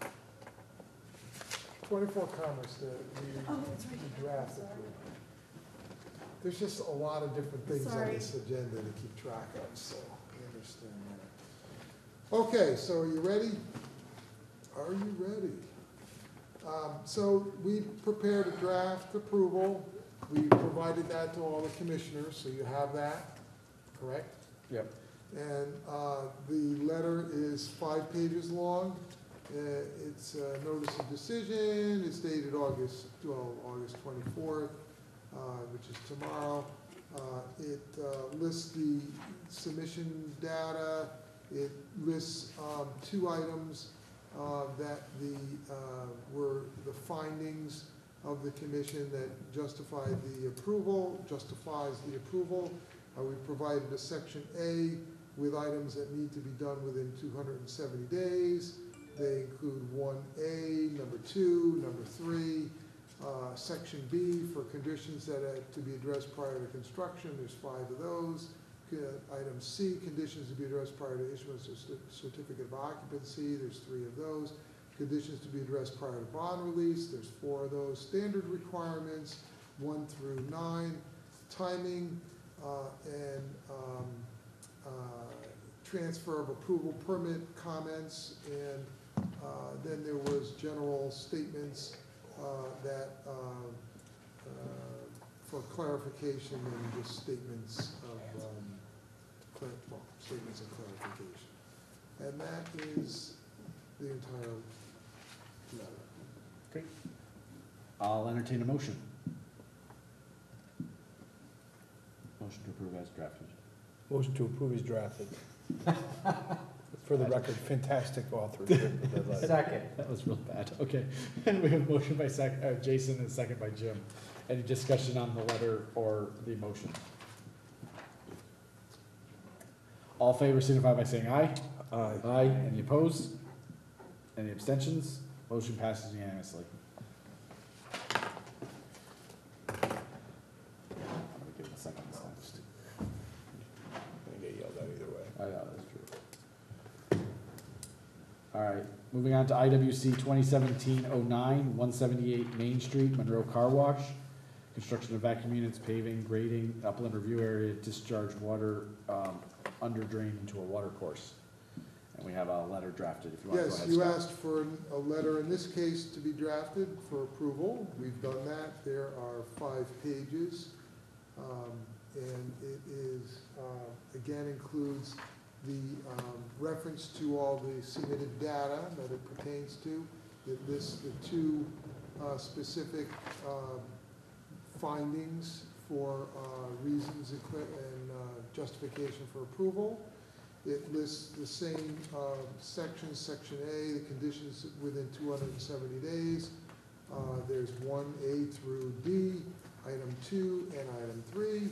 Section B, the conditions addressed prior to construction, items one through nine. Section C, conditions to be addressed prior to the issuance of the CO, items one through three. Item D, conditions to be addressed prior to bond release, items one through four. Standard requirements, section E, items one, two, one through, excuse me, one through nine. The timely expiration, transfer, approval permit, uh, information, which at this point is standard, uh, text, that's one through three. And then the last page is the list of statements and clarifications. Okay, Move that we approve as drafted. Second. I have a motion by Jim, a second by Jason. Any discussion on the letter or the motion? Hearing none, all in favor signify by saying aye. Aye. Any opposed? Any abstentions? Motion passes unanimously. All right, we have no bond releases. We did a whole bunch of time extensions. Um, Scott, are there any others that we can do without property owners? Well, you usually do them without property owners. That's a good so- point. We Yeah. do. So, um, you've already done eighty-two Cottage Street, the next one's four oh nine Cross Hill. You received All right, so, hold on a second. communication Um, from Oh. You think you have that in your packet? Yep. Yes. Mr. yeah. Capizello, Let's see if I can find it. brought his kid to school today. What? What? He's bringing his It's kid the to school. email, today. it says Mr. Oh, Rosen. another it's college this one? one. This is the. Yeah, he was saying that Some he, people have their priorities right. Yeah, first you take care of your violations, then you it's get. early for school though, isn't It it? looks like this August email. 23rd? Yeah, I've It's a heard little lot of early. people doing I it. gave it to you. This weekend, I guess, is huge. Of, uh, Yeah, remember I Friday. gave you a clip of yeah, Saturday, Sunday. Correspondence? Wild Okay. soccer tournament, both days. You're gonna be sitting out in the sun all day. All right, so we got a request for, um, extension. It's, uh, I guess I'll read it, thank you. It's sent to, uh, Gabe, uh, Ros. I don't know that it was for an extension, it's mostly, it's, Well, actually, it, it is, because, Okay. because, it- well, let me read it. first. Thank you for speaking with me, came last week to discuss the mission. And let's see, he understood I was tied up at the time. and so I spent I don't know. considerable- I've spent considerable time and effort in this matter, but I've only been able to secure the surveyor at this point. As you saw, he ex- he examined the area, came out and has staked out the area and easement, installed iron pins, and completed the field work. So that part of it's been done. He prepared and sent me a map showing the layout of the easement area. I'll be unable to attend the twenty-third meeting this month as I will be bringing my son to college, et cetera, et cetera. Uh, As of present, the area is returning to its natural state and has not been mowed since last season. I have had the area surveyed and stakes installed and marked out. The only issue is what to plant and to install markers. So this is a situation where you reviewed this um, violation, and there is an approval on the books for a buffer planting plan. It was like- Remediation. It was, not remediation, it was, it was a buffer plantings that were approved when the house was built. Okay. And so you said, well, this should be an easy one, just put the, put the plantings back and do it administratively. He came in, uh, to talk to us about the administrative approval, and he said, look, I don't wanna do the plantings that were on the original, uh, approval. There's too many of them, uh, that they, di- according to him, they died uh, because they weren't suitable. And he said, um, I'd rather present an alternative plan. So we said, okay, that's fine, um, you can present an alternative plan. If you do that, then you're submitting that to the commission. We can't do that administratively. Right. So he said, yes, I'll do that. So he was going to meet the same deadline to get that done. The time came and went, he didn't meet the deadline. So now he's asking for an extension to do that. Um, I can tell you a little bit more about it in that he doesn't want to do the uh, number of plantings. But I said, look, you bring in an appropriate professional that can speak to what's in the ground, where the water table is, what would be appropriate plantings, what would be, you know, given the, the mature size, what they're gonna grow to. Go over that with the commission and see what they'd say. So that's where we are. He's, he's looking for an extension, and you need to. How much tell him- time does he want? Uh, Okay, let's read down through the list. Has anyone- He didn't say how much time he wanted. Doesn't say in here? No. I mean, you give him more, much more than thirty days, he can't get the work done. Right, so I think thirty days 30 is the days. maximum. Okay, so thirty days it is. Motion. Motion, uh, yeah, Second. motion by Jim, second Well, by why don't we Jason. do it this way? Instead of thirty days. Till the last September meeting. The meeting, last September meeting. whatever that is. Motion. Remotioned by Jim, Second. seconded by Jason. Any discussion? You've got thirty days to submit a. All in favor, signify by saying aye. Submit this. Aye. the Aye. submission to the Aye. commission. Any opposed? Any abstentions? Motion passes unanimously. All right, it was Jim and Jason, Four zero zero. Whine and cry. four zero zero to Second meeting in September. submit a planting plan It's a, by the it's a, second meeting in it's a September. remediation submission is what it Yes. is. Probably. Okay, so that's four nine. Next one's four Maple Drive. We got a request, where O'Keefe controls. um, dated August twenty-first. It's, uh, from, from them saying that, well, it's from, uh, Spath and Bjorklund who are indicating that they've been hired. And they're asking for ninety days to prepare site plans. Apparently, they've been hired to do additional development on the property, which is something that we did talk to him about. He indicated that that wasn't feasible, but now he's taking another look at it and he's saying that he could come up with some kind of other development on. it. Remember, there was a discussion Oh, I about how big of a building, where to put the driveway, et cetera, et cetera. I mean, I don't doubt that Spath Bjorklund needs ninety days to do a full site development plan.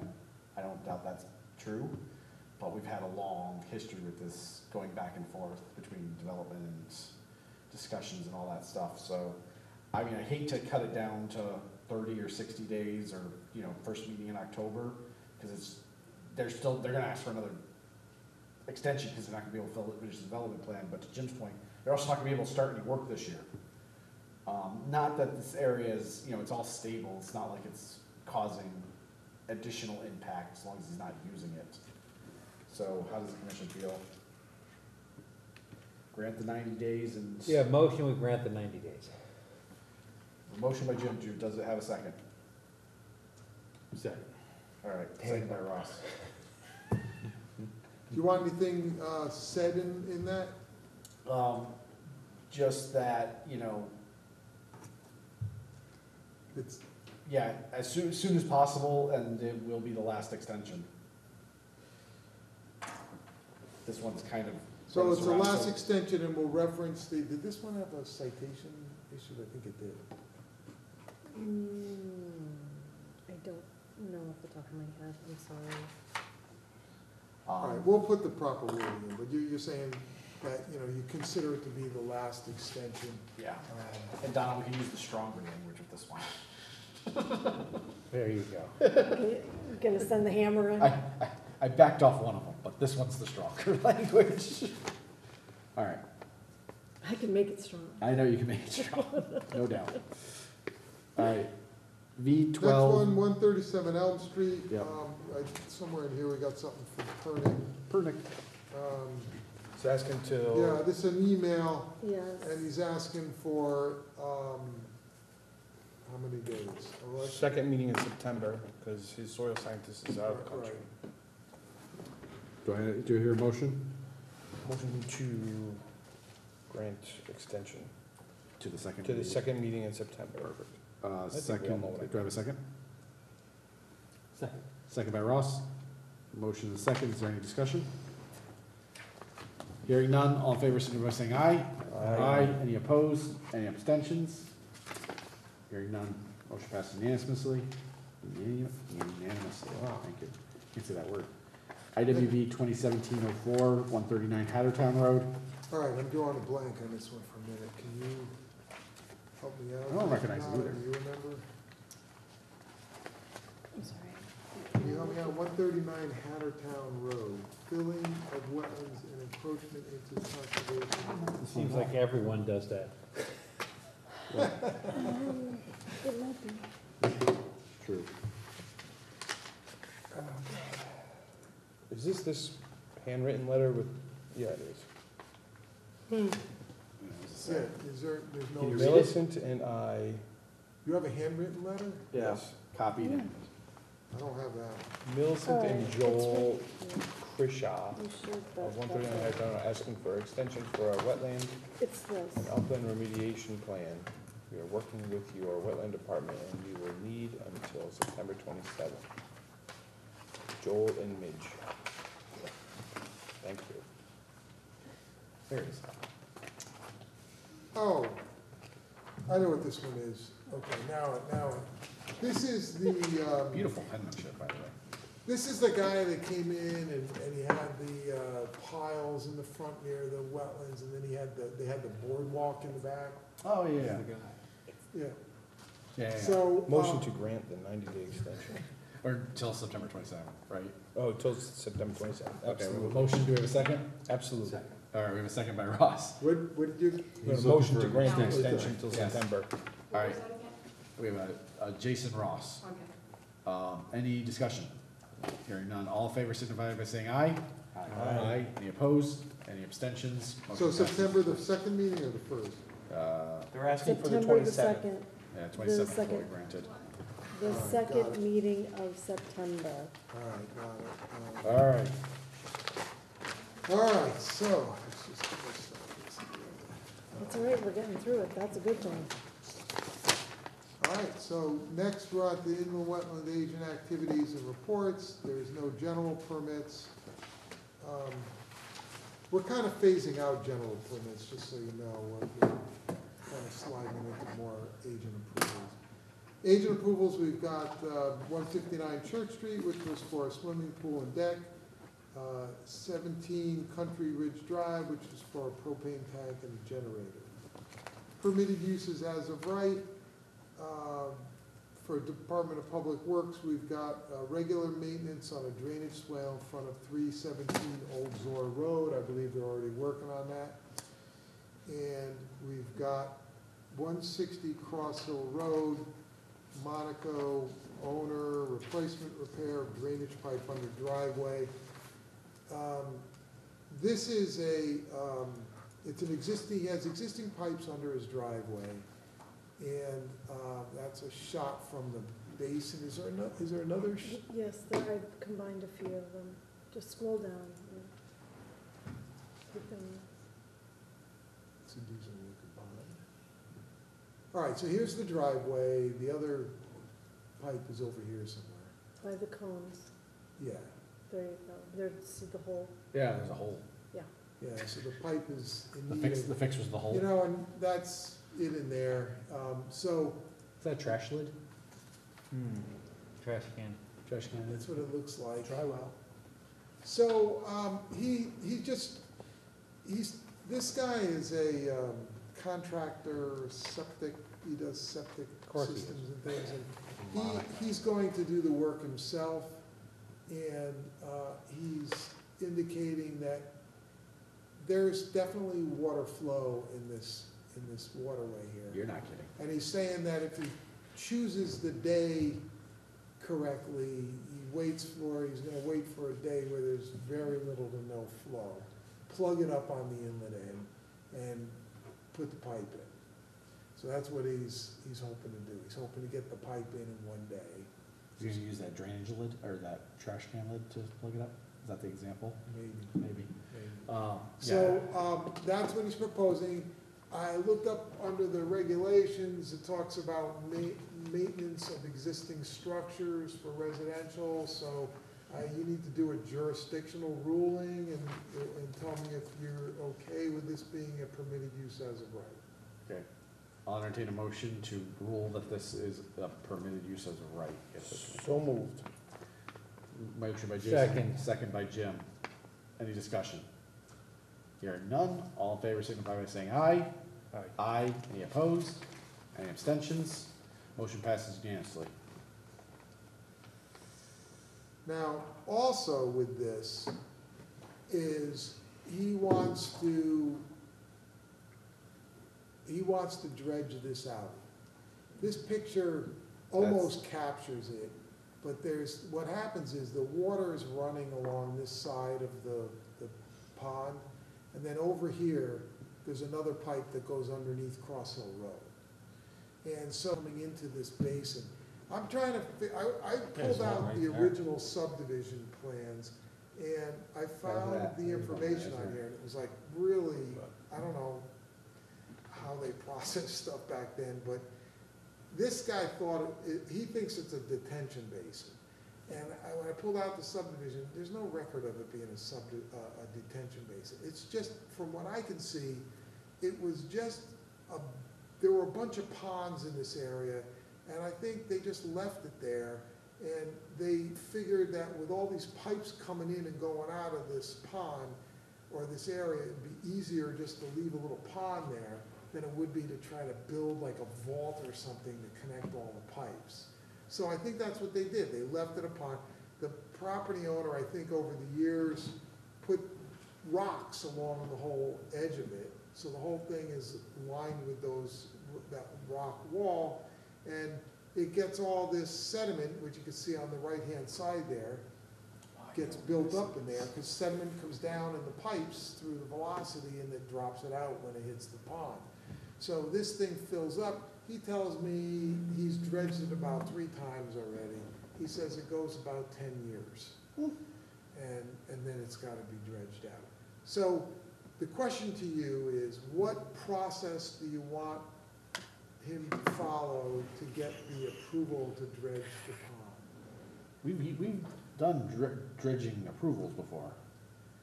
Yeah, Well, we've done those processes. you've done them with, it's a regular application. Right. I don't wanna do that. That seems You want it to be a regular application. No, I said I don't want that. Um, Where's the material coming from?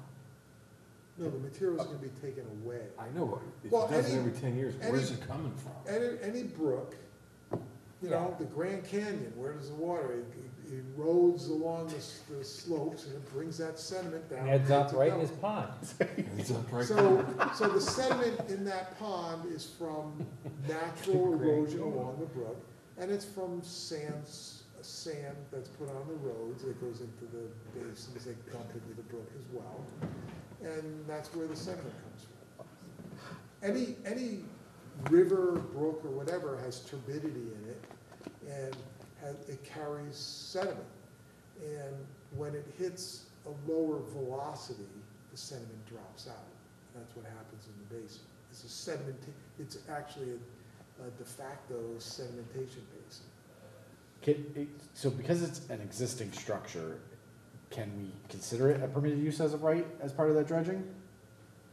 I It's pretty Uh, aggressive, but, Yeah, you could, you just, you wanna be careful about this because, We gotta know how he's gonna do it. yeah, we got. To. Yeah, like, you, you wanna be consistent. Yeah, I think you're right, I think we have to do the regular application process, it's just, you know, it seems, uh, like a ten-year maintenance track seems like something. I mean, you could do the regular application process, I mean, he can, he, he doesn't have to give you an A two survey and Yeah. all that stuff. You're more interested in his sequence of operations. Yeah, whether and how he's he's plugging it, is he And- doing stuff like that? Yeah, he's telling me, just, he wants to go there and put some siltation control on the pipes and just dig it in the, pretty much dig it in the wet.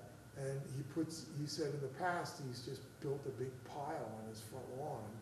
And then he waits a couple of weeks for the pile to dry out, and then he puts it in trucks and takes it away. He puts it on the other side. Sounds like the right way of doing it. Does sound. All like the right, so way of you doing want it. an application? Yes, please. I mean, is he gonna be paying a big fee for this? Well, I mean, that's the thing, is it is a good, it's theoretically a good thing to do. Yes, we don't wanna penalize him by charging him I like a don't want thousand to dollars. penalize him, charging him five hundred bucks for, a- for a wetlands permit to, to do something that, Well, he, he's telling me that in the past, the town got the permits to do it and he did the work. And the reason the town got the permits is because the pond and the brook, there's an easement to the town. Now, I explained to him that years ago, attorneys, when they process subdivisions, they would see there's water, and they just grant an easement to the town. You don't need, per- you know, I could grant an easement to you, I don't need your permission, I can just grant you. yeah, it doesn't mean we have any requirements It do doesn't mean we have any responsibility. Personally, I don't see any responsibility for it unless the sediment is dumped there by the town sanding operations, and in that case, the town should be cleaning it out. He's, this guy's offering to clean it out. Um, So he, he thinks the town should get the permit to, to dredge it out. That's what he's suggesting. He's saying, look, I'll dredge it out if you guys get the permit. So I could waive, the we could waive the fee. Yeah, I think that's what we should do, we should have him do the permit, but waive the fee. Yeah, and we could, Because it is we a- could a- assist them a bit. And a Yeah. beneficial element of our, the maintenance of the wetland. I like it. Good thinking, Jim. All right. Oh, technically, there's a different deliberation section for enforcement. Sorry about that, guys. Oh, well. All done. Um, IWV twenty seventeen oh two, we already took care of. Okay, so the next two are administrative reviews. Yep, Cap one LLC. So the first one is for eighty-nine and ninety-one Main Street. All right, so this is, this is, um, it's Cap One LLC, but it's really Tula's Restaurant, the old Tula's Restaurant. Oh, really? What is it now? What the restaurant is now? Romana. Romana, right? Yeah, now, this site was approved at Inland Wetlands and P and Z, and we never closed it out. Because they never finished the work, they never filed the plan, it's, it's, it's been a problem. And, um, there's a bunch of contacts, associated permits, special exception permit, agent approval, for the removal and placement of the septic tank, grease trap, and the pump. Um, What's not on here is your inland wetlands approval. I don't know why that's not on here, but that's not. Uh, Available records, uh, a whole bunch of things were done, park and plan, landscape building, you know, so that's listed on there. Um, Here is the plan. Now, this purple area was supposed to be restored upland buffer and grass and, and just non-usable area. They uh, continuously, we're on the third property owner, or third tenant, third restaurant. They, every one of them keeps using it, because they don't have enough parking. And so what happens is, Well, there's more businesses back there in that. well, this is a storage building that was No. always there. That's a, there's businesses in there. There's a print shop in there. Yeah, there's a storage and a print shop, there, it's always been there. Right. And then the, this was turned into a restaurant. Well, for whatever reason, it got approved as a restaurant, it doesn't have enough parking. No, it doesn't. That's And very true. It was rec, it was told that it would be a problem, and in fact, it is a problem. And so what happens is, they like double stack cars here during busy times, and they take their personnel and they park the cars all in this purple area. They filled it in, they, they put crushed stone there, they, they, it's, it's a mess. Okay, mess. so let's hammer 'em. Let's go.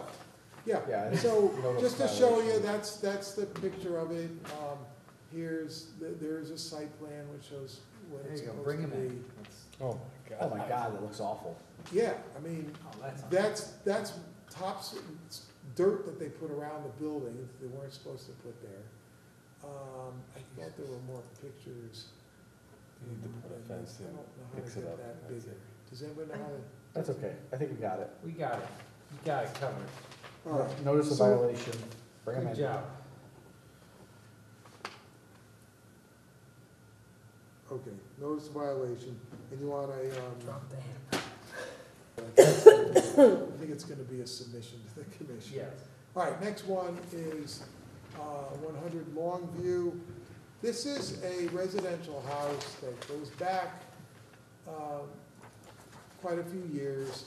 And what happened was, uh, you could read the report on your own, but um, they built the house, they, they used to have a pool. The pool actually got an approval and it got old, they, they got rid of it.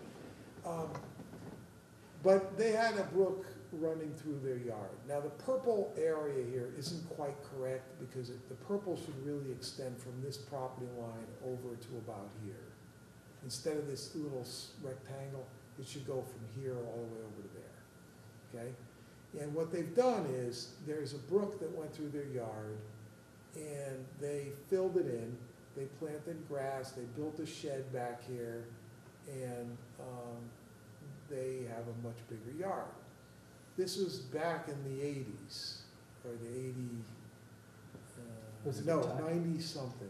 Uh, How do we figure this out? Huh? How do we figure stuff like this out? We get the, the permits from the shed and the house, and we get the No, plan. no, how do we figure out that there was a problem? Oh, they came in for, um, it says here, Origin Town property bill, they came for, oh, they came in for a retroactive permit For their for four a four-season room that they put on their house that they never got permits for. Well, they, they wanna sell it or do something, so they come in and they wanna Clean up, retro. they wanna clean up everything. Yeah, so Right. now it's time to clean up the stuff when they Okay. didn't get the permits in the first place. And then we find out, lo and behold, they filled the backyard and put a pipe in.